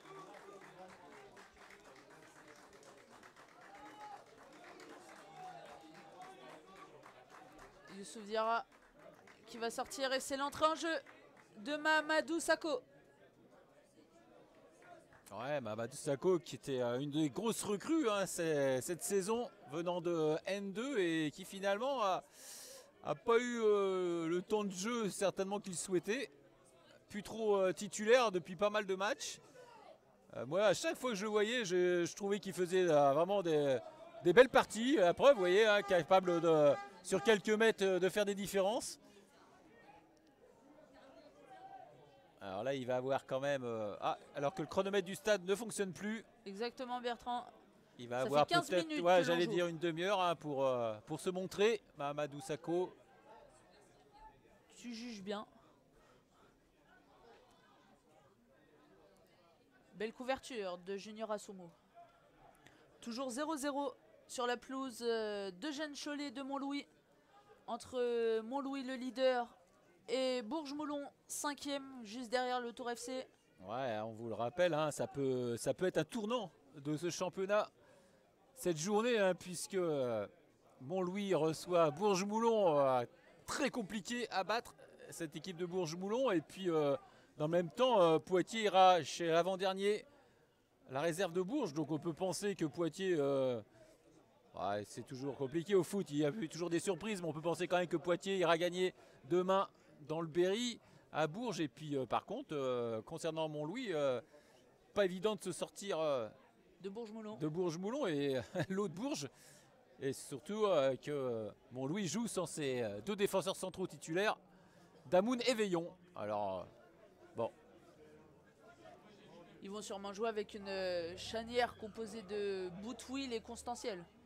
Sûrement que Zachary Atari va faire euh, descendre Constantiel en défense centrale et titulariser Evan Moreau.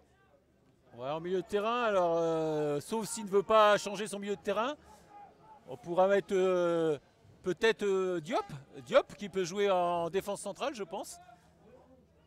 Alors qu'on va suivre cette attaque des, de tour. Villette Oh là. Ouf. Ah, il a du mal, hein, Mathis Talon. Ah, et bon, euh, ce qui compte, c'est qu'il arrive à stopper euh, cette frappe de Villette qui n'était pas bien, pas, bien, forte. Bon, attention. un peu retard, Junior Asumu. Ah, euh, il fait une belle entrée, hein, ce numéro 15, Nessim Ayadi. On le rappelle, Junior Asumu qui n'a pris qu'un carton jaune depuis le début de la saison. C'était face à Bourges, il me semble. Hein. Ouais, qui défend vraiment très proprement et qui fait très très peu de fautes. Non, c'était à Châtellerault. Je me rappelle, j'ai fait euh, tous les matchs du Tour FC depuis le début pour euh, vous retrouver cette euh, stat. Ouais, pour en revenir à Montlouis, donc on disait que voilà, gros tournant, hein, puisque il se, pourrait se faire remonter à 3 points, 3 petits points de Poitiers en cas de défaite face à Bourges-Boulon et puis victoire de Poitiers à Bourges. Mais bon, après, ils n'ont pas, pas perdu hein, au stade de Gênes Cholet, même s'il leur manque deux titulaires. Et puis après, bah, Montlouis va quand même euh, avoir à jouer euh, le Tour FC, le FCOT, Poitiers en cette fin de saison. Fin de saison passionnante. Et dernier match à Châtellerault. Alors passionnante sur le terrain et, également en dehors.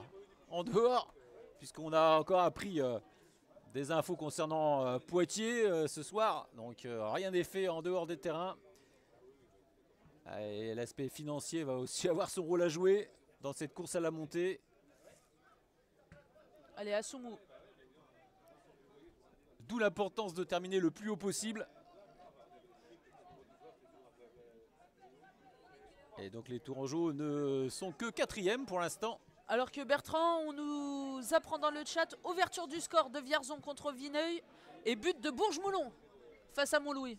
Voilà, attention alors que euh, oui, Mathis Talon là qui est, qui est sorti en dehors de sa surface de réparation, il était bien embêté, il pouvait pas mettre les mains et il s'en est bien sorti. Donc oui, Bourges-Moulon qui aurait ouvert le score sur le stade de Montlouis.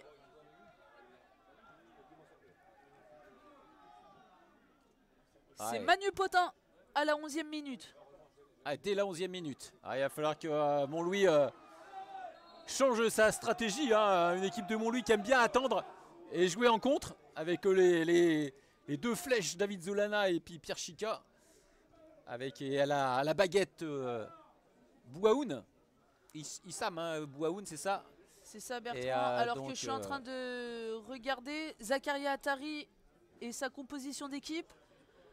Euh, une défense centrale composée de Boutwill et Constantiel. Ouais, donc en milieu de terrain, il a mis Moreau, c'est ça ouais. Moreau, Brio, De Ressus et Boaoun. Ouais. David Zolana sur le banc.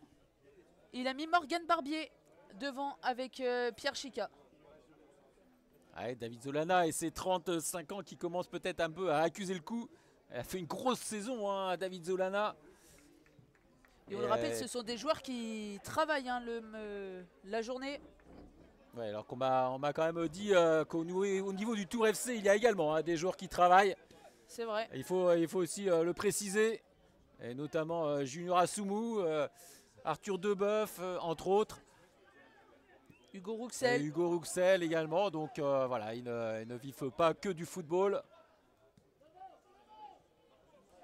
Dans un championnat qui est donc amateur, championnat de N3.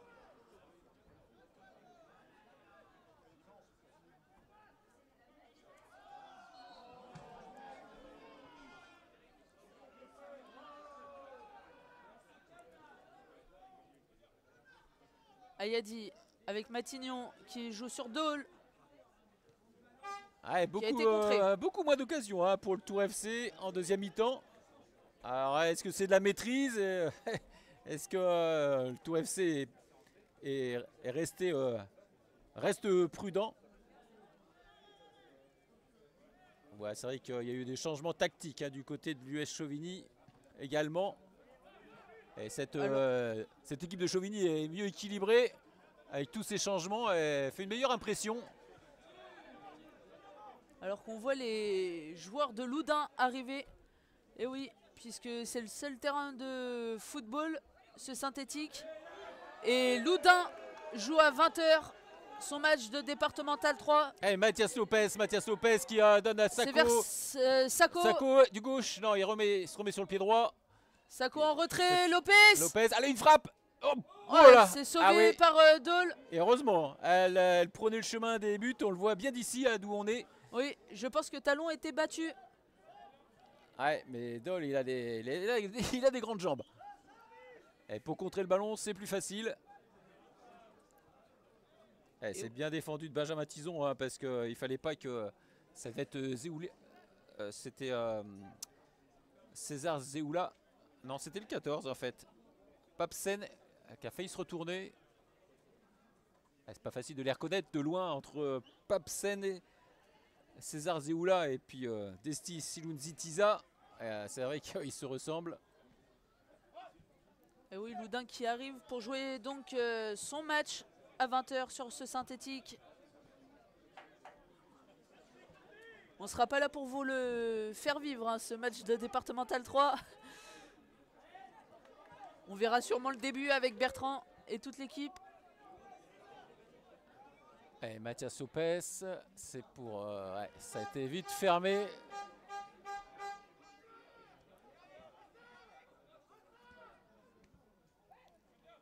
Allez, Chauvigny qui essaie de repartir euh, proprement, euh, mais bon, ils se font contrer Très rapidement. belle. euh, Ouf. Oh, c'est. Pas de faute, dit monsieur l'arbitre.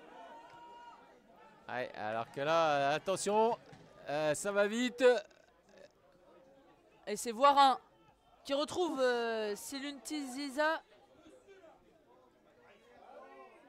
Attention, il n'y a pas hors-jeu Ah si, il y a hors-jeu, Mais super arrêt de Jules Godin, malgré tout. Oh, on a eu peur, on a eu peur. Ah, il faudrait pas que Chauvigny revienne au score. À quoi 25 minutes de la fin Alors qu'on a pour l'instant été quand même assez serein euh, depuis le début de la rencontre. Un but euh, de Chauvigny pourrait tout changer. Et on se rappelle qu'au match aller, euh, les Tourangeaux menaient 1-0. Et s'étaient fait reprendre. Ils, avaient eu du mal à ouvrir le score au match aller puisque c'est Mathias Lopez qui avait marqué qu'à la 74e minute, un quart d'heure avant la fin de la rencontre. Et puis ce Silou Zitiza avait égalisé 6 minutes après à la 80e et le score euh, final avait été de 1 but partout. Une des, contre-performances du Tour FC cette saison qui les empêche de lutter avec les- les premières places. Eh oui, match nul face à Chauvigny, match nul euh, à Bourges.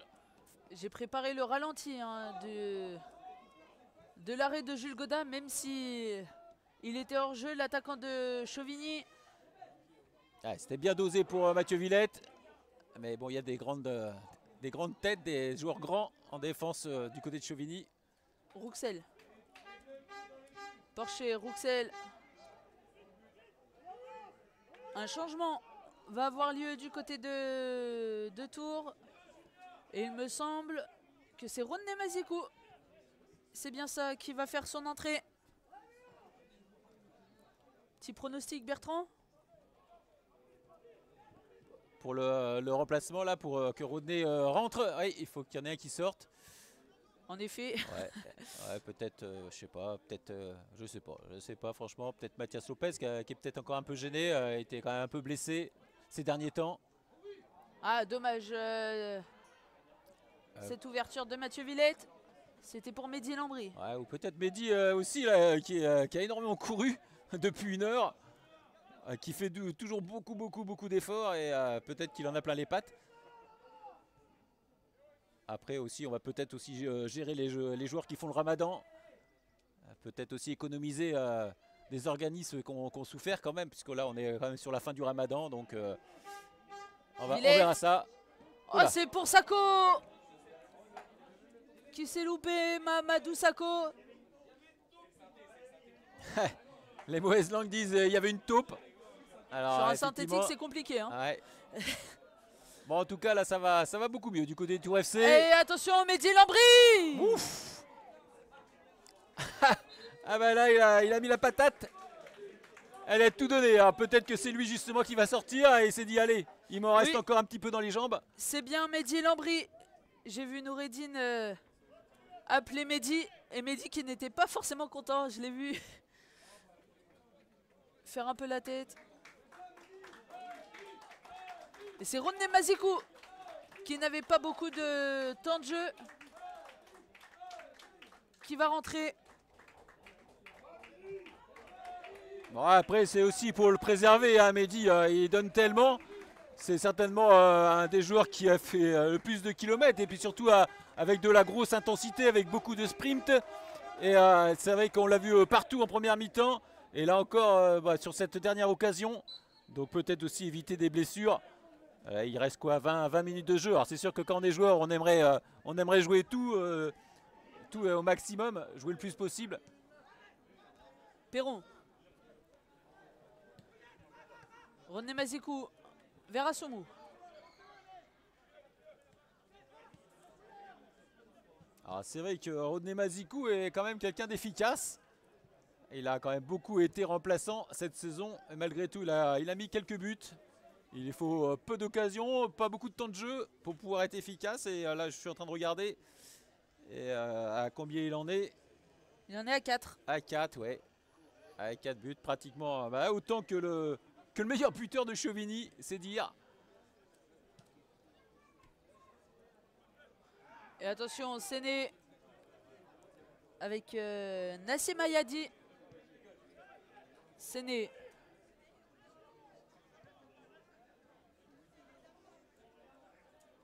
Voirin qui trouve euh, Silunzi Tiza. Ouais, Voirin. attention, là, attention de ne pas le, le Pas de crocheter.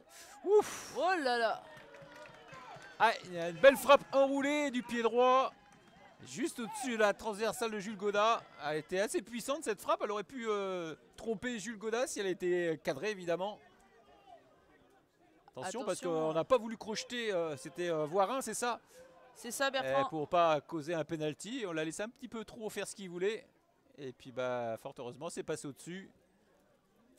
Faire attention parce que Chauvigny se rapproche de plus en plus du but de Jules Goda. Ouais, on était sur quand même une, une bonne période du Tour FC euh, depuis une dizaine de minutes.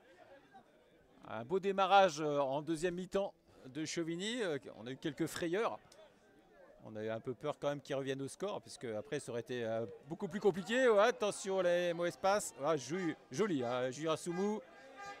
T'as bien regardé bouton. avant de jouer le, le ballon. Vers René Mazikou pour son premier ballon. Allez, Mazikou, oh là, ça va vite. Allez, c'est parti. Ah, super, c'est Sako. Sako qui arrive Sako à passer. toujours Oh, de la crocheté Crocheté, mais Pas de euh, faute, il n'y a pas de faute. euh, dit l'arbitre. Ouais, bizarre, hein, ça- il a fait un gros vol plané.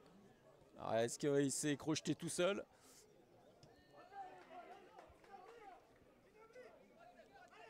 Ouais, Il y a eu deux, deux occasions un petit peu euh, limites dans la surface euh, chauvinoise. Mais monsieur euh, l'arbitre qui arbitre très bien cette rencontre, Lenny de Mas, a laissé Sako. jouer. Ah, dommage le contrôle de Mamadou Sako. Et on le voit, hein, Mamadou Sakho, c'est l'attaquant de tour qu'on voit le plus alors qu'il est, mi- il est milieu de terrain.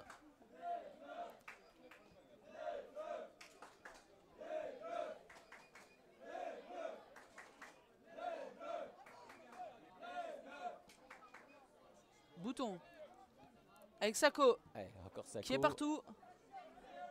Bouton. Bouton euh, qui frappe. Oui, c'est ça, c'est Bouton. Une Ah ouais. frappe euh, flottante. Elle était Mais qui n'est bien, pas bien, cadrée. bien partie, hein. bien partie cette frappe de Léo Bouton, mais qui est, euh, qui est passée au-dessus de la transversale. Il faut également un peu tenter de loin pour faire sortir la défense chauvinoise.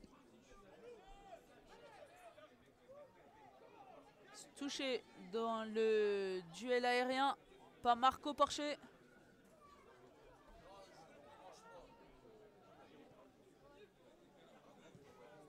L'équipe de- Rouxel qui dégage euh, sur, Villette, qui a gagné son duel aérien face à Doleux. C'est pas été loin que euh, Mazikou récupère le ballon. Ah, il y avait il y a hors-jeu. Je regarde euh, au niveau de Chauvigny, euh, 25 buts en 20, 20, 20, presque, pratiquement 21 journées. Ouais, donc c'est un 25 buts par match. Donc ils sont en dessous de leur moyenne. Ah, Peut-ils vont-ils réussir à en mettre un ce soir pour être euh, dans leur moyenne? Et puis euh, un- 1,8 buts encaissés, donc pratiquement 2. Donc là, là, ils sont dans leur moyenne. Et puis au niveau de- des Tourangeaux, euh, eh ben, c'est 2,15 buts de marqués. Bah, y en a marqué 2 et puis euh, un but encaissé. Ouais, Peut-être que ça va se terminer à 2-1. Ça serait représentatif euh, des moyennes des deux, deux- deux équipes, que ce soit en attaque ou en défense.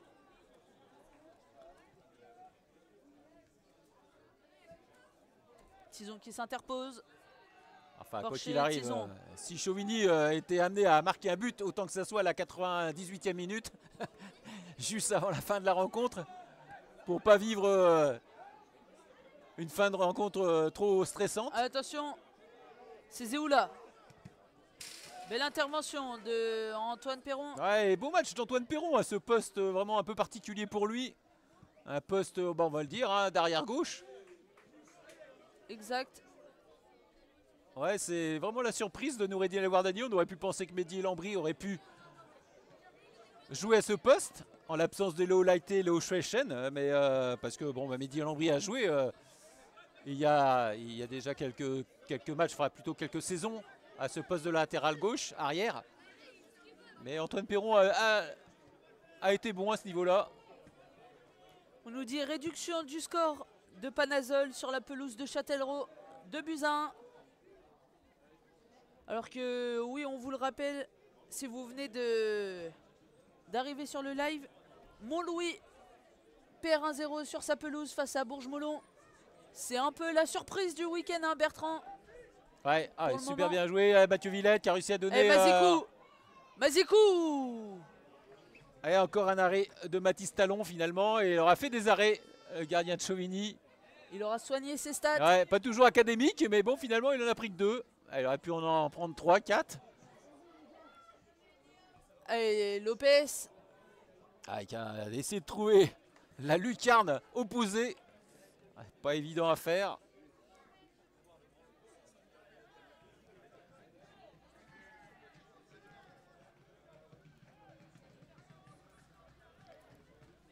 et Talon qui va dégager. Alors qu'il reste encore euh, ouais, 10, 10 minutes encore. Oui, rien n'est joué. Ah, c'est vrai qu'à la mi-temps, on aurait pu penser euh, qu'il y aurait un score un peu plus fleuve par rapport à la domination des tours en jeu en première mi-temps, par rapport à ce qu'ils nous ont proposé, avec quand même pas mal d'occasions, pas mal d'opportunités. Mais ils ont été bien gênés par euh, le repositionnement en deuxième mi-temps des hommes de la Vienne. Dégagement de Benjamin Tison. Allez, pas prendre de risques en défense. Attention.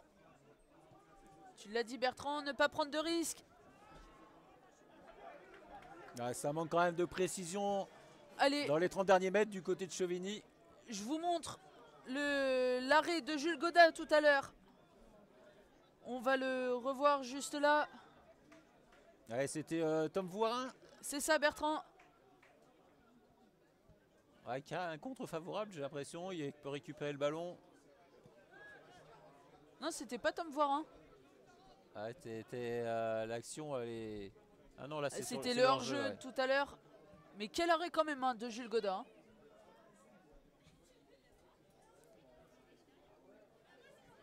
Allez, Rouxel qui temporise et qui joue avec euh, Benjamin Tison. Ouais, belle transversale pour Antoine Perron. Perron qui s'autorise euh, une petite montée vers Sacco. Ouais, c'est propre. C'est propre ce que font les Tourangeaux. Attention. Et attention, Allez, euh, ou un contre un. c'est Château là qui demandait euh, la balle plein axe. Ouais, on, Pour, ne euh, passe pas, Chauvigny. on ne passe pas Benjamin Tison. Ou du moins c'est compliqué. Ouais, mais c'est vrai que cette année, il a rarement été pris en défaut, hein, Benjamin. C'est vrai. Allez, un changement du côté de Tours.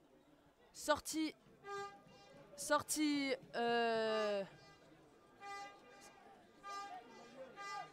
Non, ça...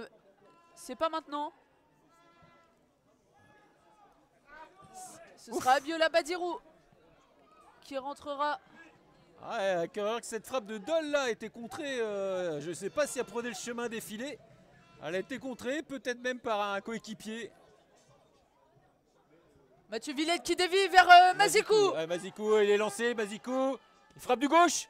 Ouais, c'est encore un bel arrêt euh, de Mathis Talon. Qu'on aura beaucoup vu au final. hein. Ouais, il a peut-être pu avancer un peu encore, euh, Mazikou. Mazikou qui a frappé du gauche.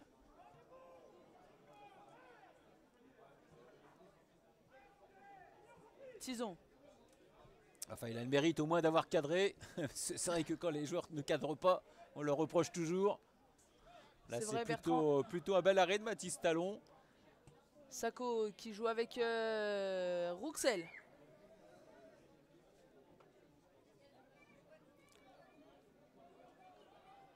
Bouton qui va repasser par Tison.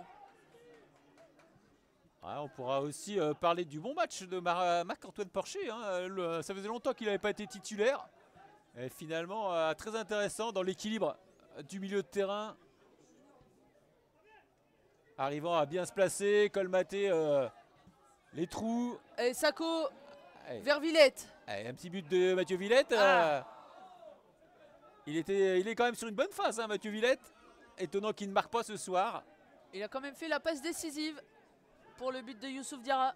Ouais, je suis en train de penser. eh, Voilà, attention, là, parce que ça va aller vite. Faut Oh pas projeter. attention Oh là là là là Je suis pas complètement d'accord là, je pense Ouais. avec l'arbitre euh, Bertrand. Ouais, est-ce que euh, le Tourangeau a mis le, le pied sur le ballon pour faire trébucher l'attaquant de Chauvigny? Et ben on regardera ça au ralenti alors, Ouais. au, au prochain arrêt de jeu. Après, c'est vrai que dans le bénéfice du doute, pas facile de siffler penalty.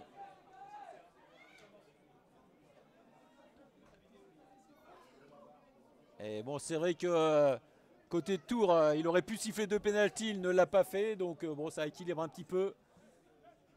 Je pense que Lenny Demas, l'arbitre, doit être sûr de sa décision hein, pour siffler. Le ralenti est prêt. On attendra le prochain arrêt de jeu. Mazikou. Très Ouais. bien joué. Ah, Mathieu Villette qui est hors jeu. Allez, l'occasion de revoir ce ralenti et ce penalty ou non. Oh, pour moi, c'est penalty, Bertrand. Ah, alors là, si Florentin, tu dis que c'est penalty, c'est peut-être parce que l'arbitre n'a pas sifflé penalty que tu dis qu'il y a Non, mais pour moi, pour Ouais, moi. Rouxel, euh, Rouxel ne touche pas le ballon. hein. Ouais, j'ai l'impression qu'il touche à cheville, ouais. Ah, et en plus, il est vraiment bien derrière, hein, Hugo On le Rouxel. revoit. ici. Ouais. Il ne touche pas le ballon, hein, Hugo Rouxel. Ouais, impression de, il tape dans le talon. Alors après, est-ce que ce- le fait d'avoir touché le talon euh, fait que Shoyo a peut-être un peu exagéré Bon, après, de toute façon, euh, l'arbitre n'a pas de ralenti, n'a pas d'image. Et tant mieux hein, pour les Tourangeaux. Ah oui, D'ailleurs, parce euh, que ça aurait fait une, euh, une fin de match assez tendue, hein, Bertrand. Ah, complètement. si on pouvait l'éviter, ça serait pas plus mal. Après, pour vous hein, qui suivez le live, euh, vous avez peut-être envie que ça, ça s'accélère un petit peu. Ah bah, là, ah, y Mathieu a Villette encore- qui est hors jeu là aussi. Ouais, Mathieu Villette un peu frustré, hein, pas réussi à avoir vraiment des belles occasions pour marquer. Ah, il participe énormément, hein, il arrête pas de bouger. Il joue euh, dos au but, en, en relais, en remise. Mais je suis persuadé qu'il aurait aimé marquer, et puis finalement il ne marquera pas ce soir. Puisque euh, c'est Abiola Badirou qui va le remplacer. Et oui, et Marc-Antoine Porcher qui va sortir.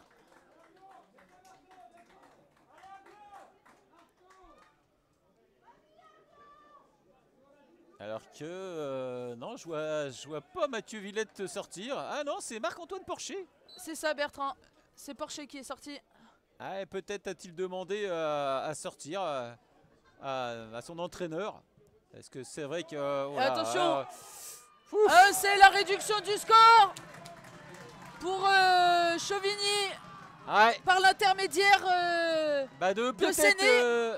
Euh, c'est pas Desti Silunzi Stiza, j'ai l'impression, hein, euh, par rapport à. Je vois pas son numéro, mais ça lui ressemble. Oui, c'est ça, Bertrand, tu as raison. Ouais. Silun Zitiza. Ah bah décidément, il avait euh, égalisé au match aller ce Desti Silunzi Tiza. Et là, il, a- il est rentré il y a déjà quelques minutes. Et on le reverra au ralenti. Ouais, bah, j'avais prédit un 2-1 hein, par rapport aux statistiques. Ah, les statistiques, elles n'ont pas toujours raison. Alors après, euh, c'est pas fini. hein. il y a 2-1, mais il reste encore un peu de temps. Après, euh, c'est pas immérité. Hein. L'équipe de Chevigny a fait vraiment une euh, bien meilleure deuxième mi-temps. Allez, on Après, vous on- remontre. On pourra regretter euh, que les Tourangeaux ne se soient pas mis à l'abri quand même euh, beaucoup plus, euh, plus rapidement, puisqu'ils ont quand même beaucoup d'occasions de marquer un troisième but. Vous le remontre euh, cette action de Chauvigny. Euh, J'ai trouvé. Tom euh, Voirin. euh, Tom Voirin qui trouve une très belle passe pour Céline Tuziza. ouais, J'ai trouvé bien seul quand même. Euh, attention parce que Badirou récupère le ballon de la surface. Ah non, ça va, ça va rien donner. Tu peux laisser le ralenti. Non mais j'avais coupé parce que c'était fini. Ah oui, d'accord. Attention, frappe Bouton de la Bouton. Ouf. Avec le rebond juste en face. Ouais, Et c'est hein. Talon qui dévie euh, en corner. Ouais, un gardien qui euh, bloque pas beaucoup de ballons et euh, qui dévie beaucoup. Il reste deux minutes dans le temps réglementaire. Et je vais surveiller le délégué du match. Savoir combien de temps additionnel donnera-t-il. Ouais, et puis surtout trouver le moment pour nous repasser ce but de Chevigny. Je l'ai je l'ai déjà passé, hein, Bertrand. Ah bon, pardon. Alors donc euh, bien seul, hein, c'est ce que j'avais vu. euh, il Oui, c'est ça, il est bien seul et il y a un retour euh, de Tison ou Perron, je ne sais pas trop. Bah, il, se, il se retourne bien et. ne suffit pas. Alors attention, non, ça c'est bien capté là et par attention à la contre-attaque, il y a un 3 contre 3.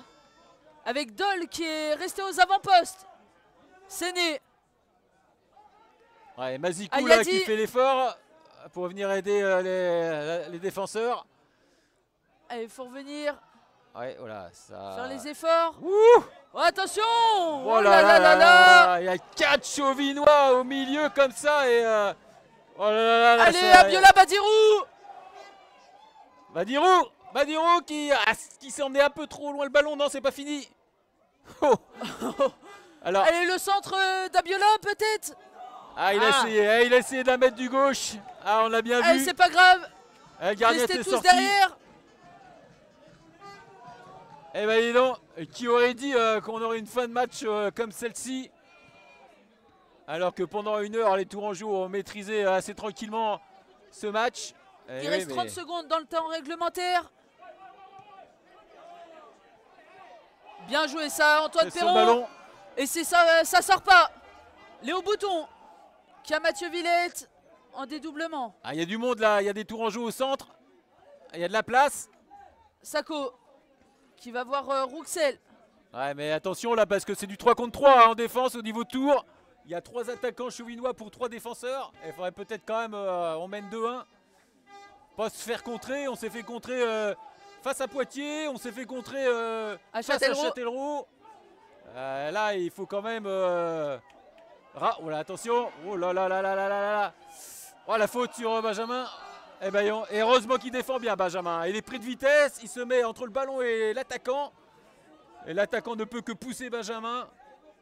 Gros geste défensif de Benjamin Tison.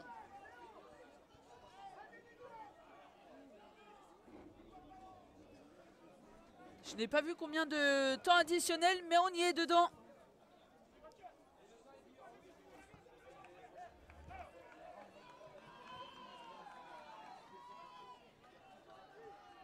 Alors que les Chauvinois sont poussés par leurs supporters en face.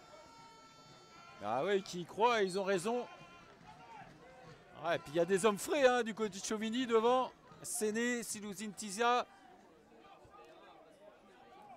Allez, Badirou. Ouais, ça sent le chaos. Allez, ça sent le au centre, Abiola. Villette, Mathieu Villette. qui va se remettre sur son pied droit. Ah là. Allez, Bouton. Ah, il est pas facile à être contrôlé sur ce synthétique. Ah, on met trop de temps là à bien contrôler le ballon. Attention à pas perdre le ballon. Ah, Mazikou. Mazikou. Allez, faut revenir par contre. Ouais. Très bien joué, René.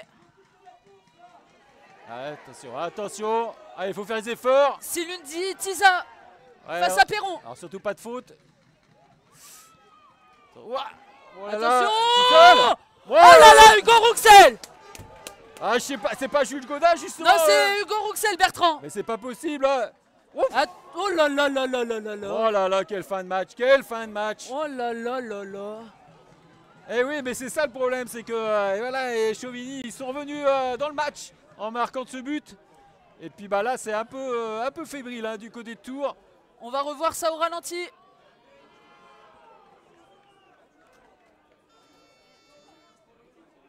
Allez, on le revoit. On va revoir le début de l'action. Là, on va voir euh, Silune euh, Ouais, toujours, Zitiza. même, hein, ouais, toujours ce Silou Zitiza qui est vraiment euh, pas facile à, à contrôler. Antoine Perron défend bien hein, malgré tout. Et Jules Godin qui prend un jaune. C'est Rouxel, hein, je crois. Ouais, On va voir ça. Ah.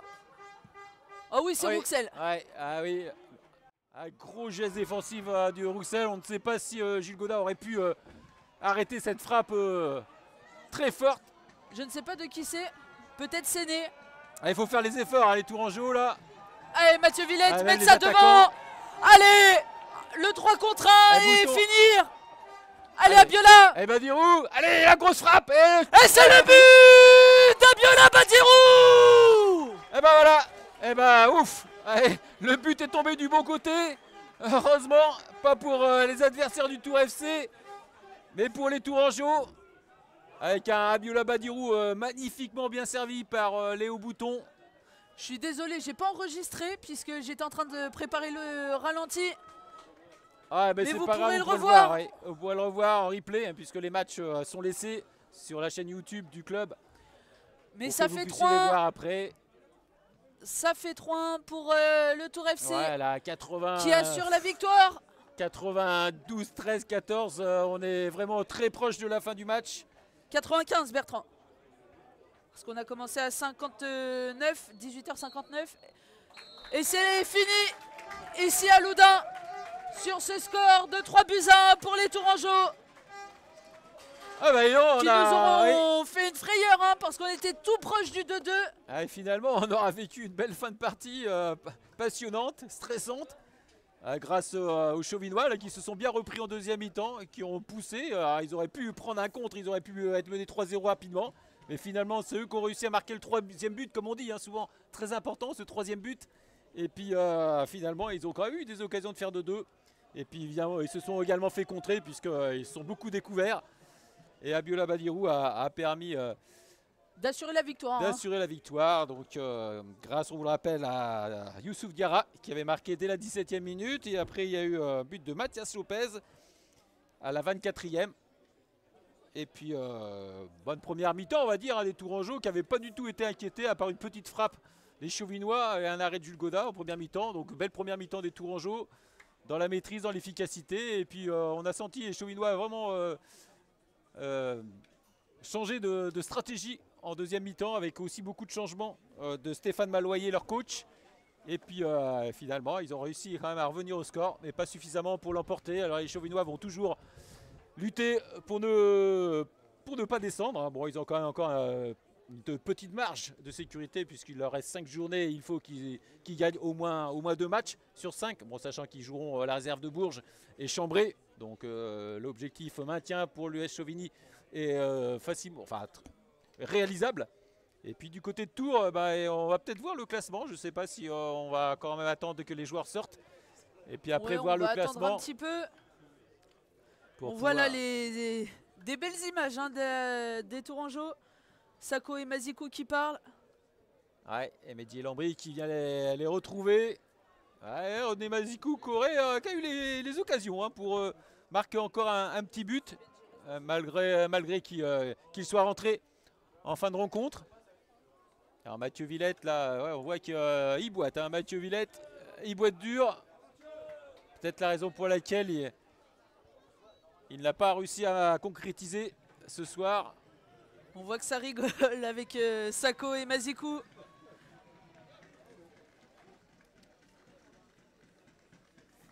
Des très belles images des Tourangeaux qui sont sûrement soulagés. Ouais, et Parce soulagé que- de pas, pas avoir pris de but dans les arrêts Ouais. de jeu. Et enfin en marquer un dans les arrêts de jeu. Puisqu'on a encore les, les vieux souvenirs euh, des, des matchs face à Poitiers et Châtellerault. Et là, c'est vrai qu'on aurait pu encore euh, prendre un but euh, dans les arrêts de jeu. Ce qui aurait permis aux Chauvinois de partager les points, revenir à 2-2. Et ce n'a pas été le cas. Et finalement, les Tourangeaux On voit encore Bon. un Sako Mazikou qui, qui parle. Jules Godin qui vient chambrer. Ouais, c'est vrai que euh, Mamadou Sakho, il a eu des occasions, on l'a beaucoup vu. hein. Alors, euh, pour le pire, et pour le meilleur et pour le pire, on va dire. Euh, mais ouais, il a été euh, vraiment intéressant dans, dans son entrée avec toute son activité. Mamadou Sakho, il a une grosse frappe bien, bien foirée. Hein, on s'en rappelle du droit. Et même les, les mauvaises langues ont dit qu'il y avait- une taupe qui avait détourné le ballon au moment de sa frappe. Des belles images en tout cas des Tourangeaux. Bertrand, tu voulais voir euh, le classement Et ben il s'affiche à votre écran. Puisque Montlouis donc est en train de perdre euh, sur sa pelouse euh, à la mi-temps 1-0. Et on nous dit que ça gronde dans les tribunes d'Eugène Cholet à Montlouis.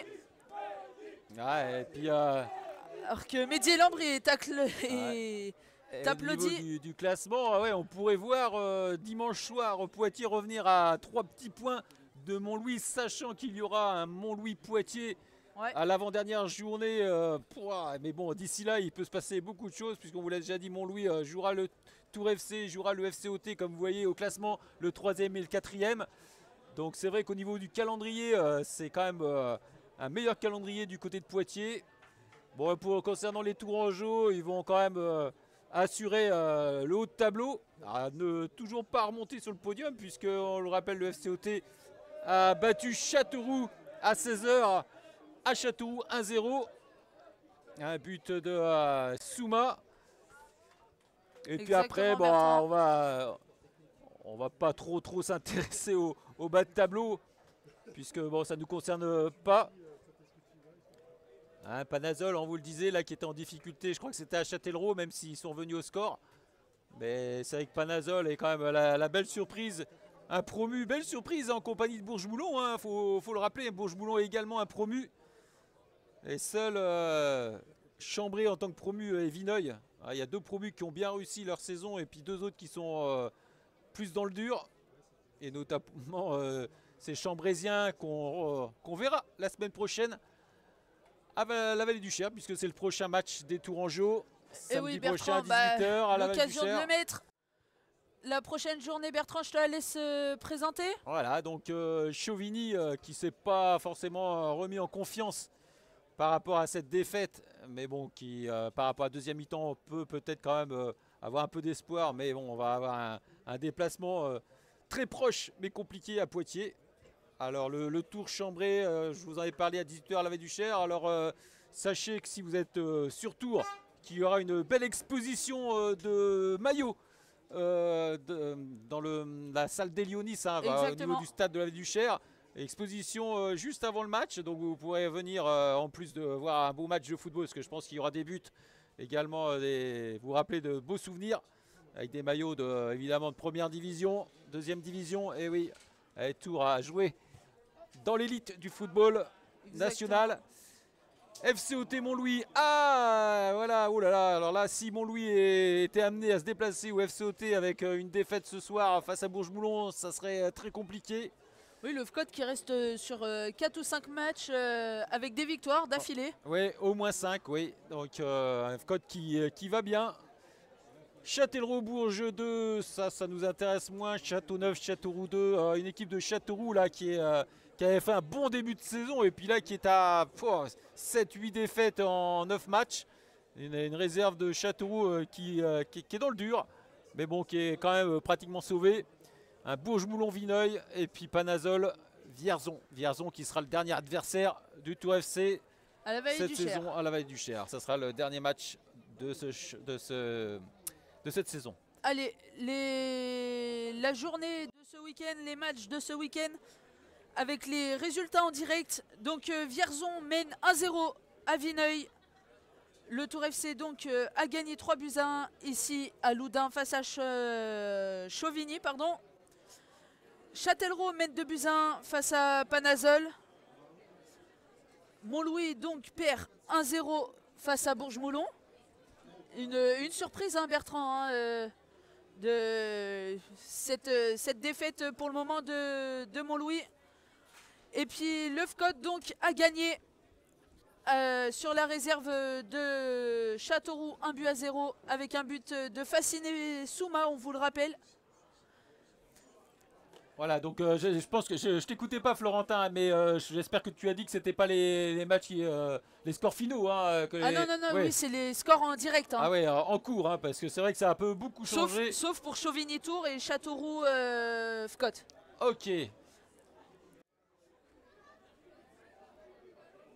Alors, attendez, on était sur la caméra zoom. Voilà, donc euh, de retour. Ben non, on est toujours été là ce soir avec vous. Euh, tiens, allez, Benjamin, viens avec nous. Allez, viens avec nous. Et Mickaël, euh, L'occasion de, allez, de voilà. le voir, Benjamin Lhomme, notre euh, caméraman euh, Zoom, voilà. qui, qui a fait le déplacement avec nous. Premier déplacement. hein, euh. Benjamin, un petit mot sur ce premier déplacement. Comment t'as trouvé euh, ce déplacement? Bah, on a été bien accueillis par euh, l'équipe chez laquelle on est allé. Euh, voilà, euh, bah, rien de plus. C'est un match euh, intéressant avec pas mal de buts. et- Ah, et c'est un métier hein, de commentateur. hein. Ah, c'est Ouais, pas évident. ouais, hein. pas En plus. Florentin, il est vache parce qu'il t'avait pas prévenu. Ouais. Donc, euh, dire qu'il y a des choses à la caméra quand t'es pas prévenu, ça, c'est du Florentin. Il est content. Voilà, bravo. Bon, Mickaël, allez, viens avec nous. Ah, Mickaël, Ah, il veut il pas. veut pas. Bon, il veut bien nous cadrer. Ah oui, certainement. Bon, allez, voilà. Bon, merci. euh, Merci à tous de nous avoir suivis. On a vu que vous étiez euh, à un moment 300 sur euh, le live. Ouais, vous avez, vous avez été euh, près de 2500 à avoir suivi euh, le dernier match euh, face à la réserve de Bourges. euh, 2500 alors que le Tour FC accueillait euh, l'avant-dernier. euh, c'est remarquable. Bon, après, il y avait 6 beaucoup. buts quand même. Ouais, mais À c'est mieux voir. fallait-il le savoir. Florentin, il est toujours pareil. Bon, il est temps que ça se termine. hein. Merci de nous avoir suivis donc. Petite pensée avant à la famille de Jean-Louis Meunier, décédé euh, cette semaine, ancien joueur euh, du Tour Football Club. Merci à tous encore une fois de Et, nous avoir et- et suivis. une petite pensée aussi au club de l'US Chauvigny. hein. On vous le rappelle, euh, le terrain est inondé, les locaux sont inondés. Si euh, vous voulez faire un geste, allez sur la page Facebook, ils se font une cagnotte pour vraiment les aider à se reconstruire. Parce que, bon, le sport c'est une chose, mais aussi il y, a- il y a tous les à côté. Et là, ils sont vraiment dans la difficulté.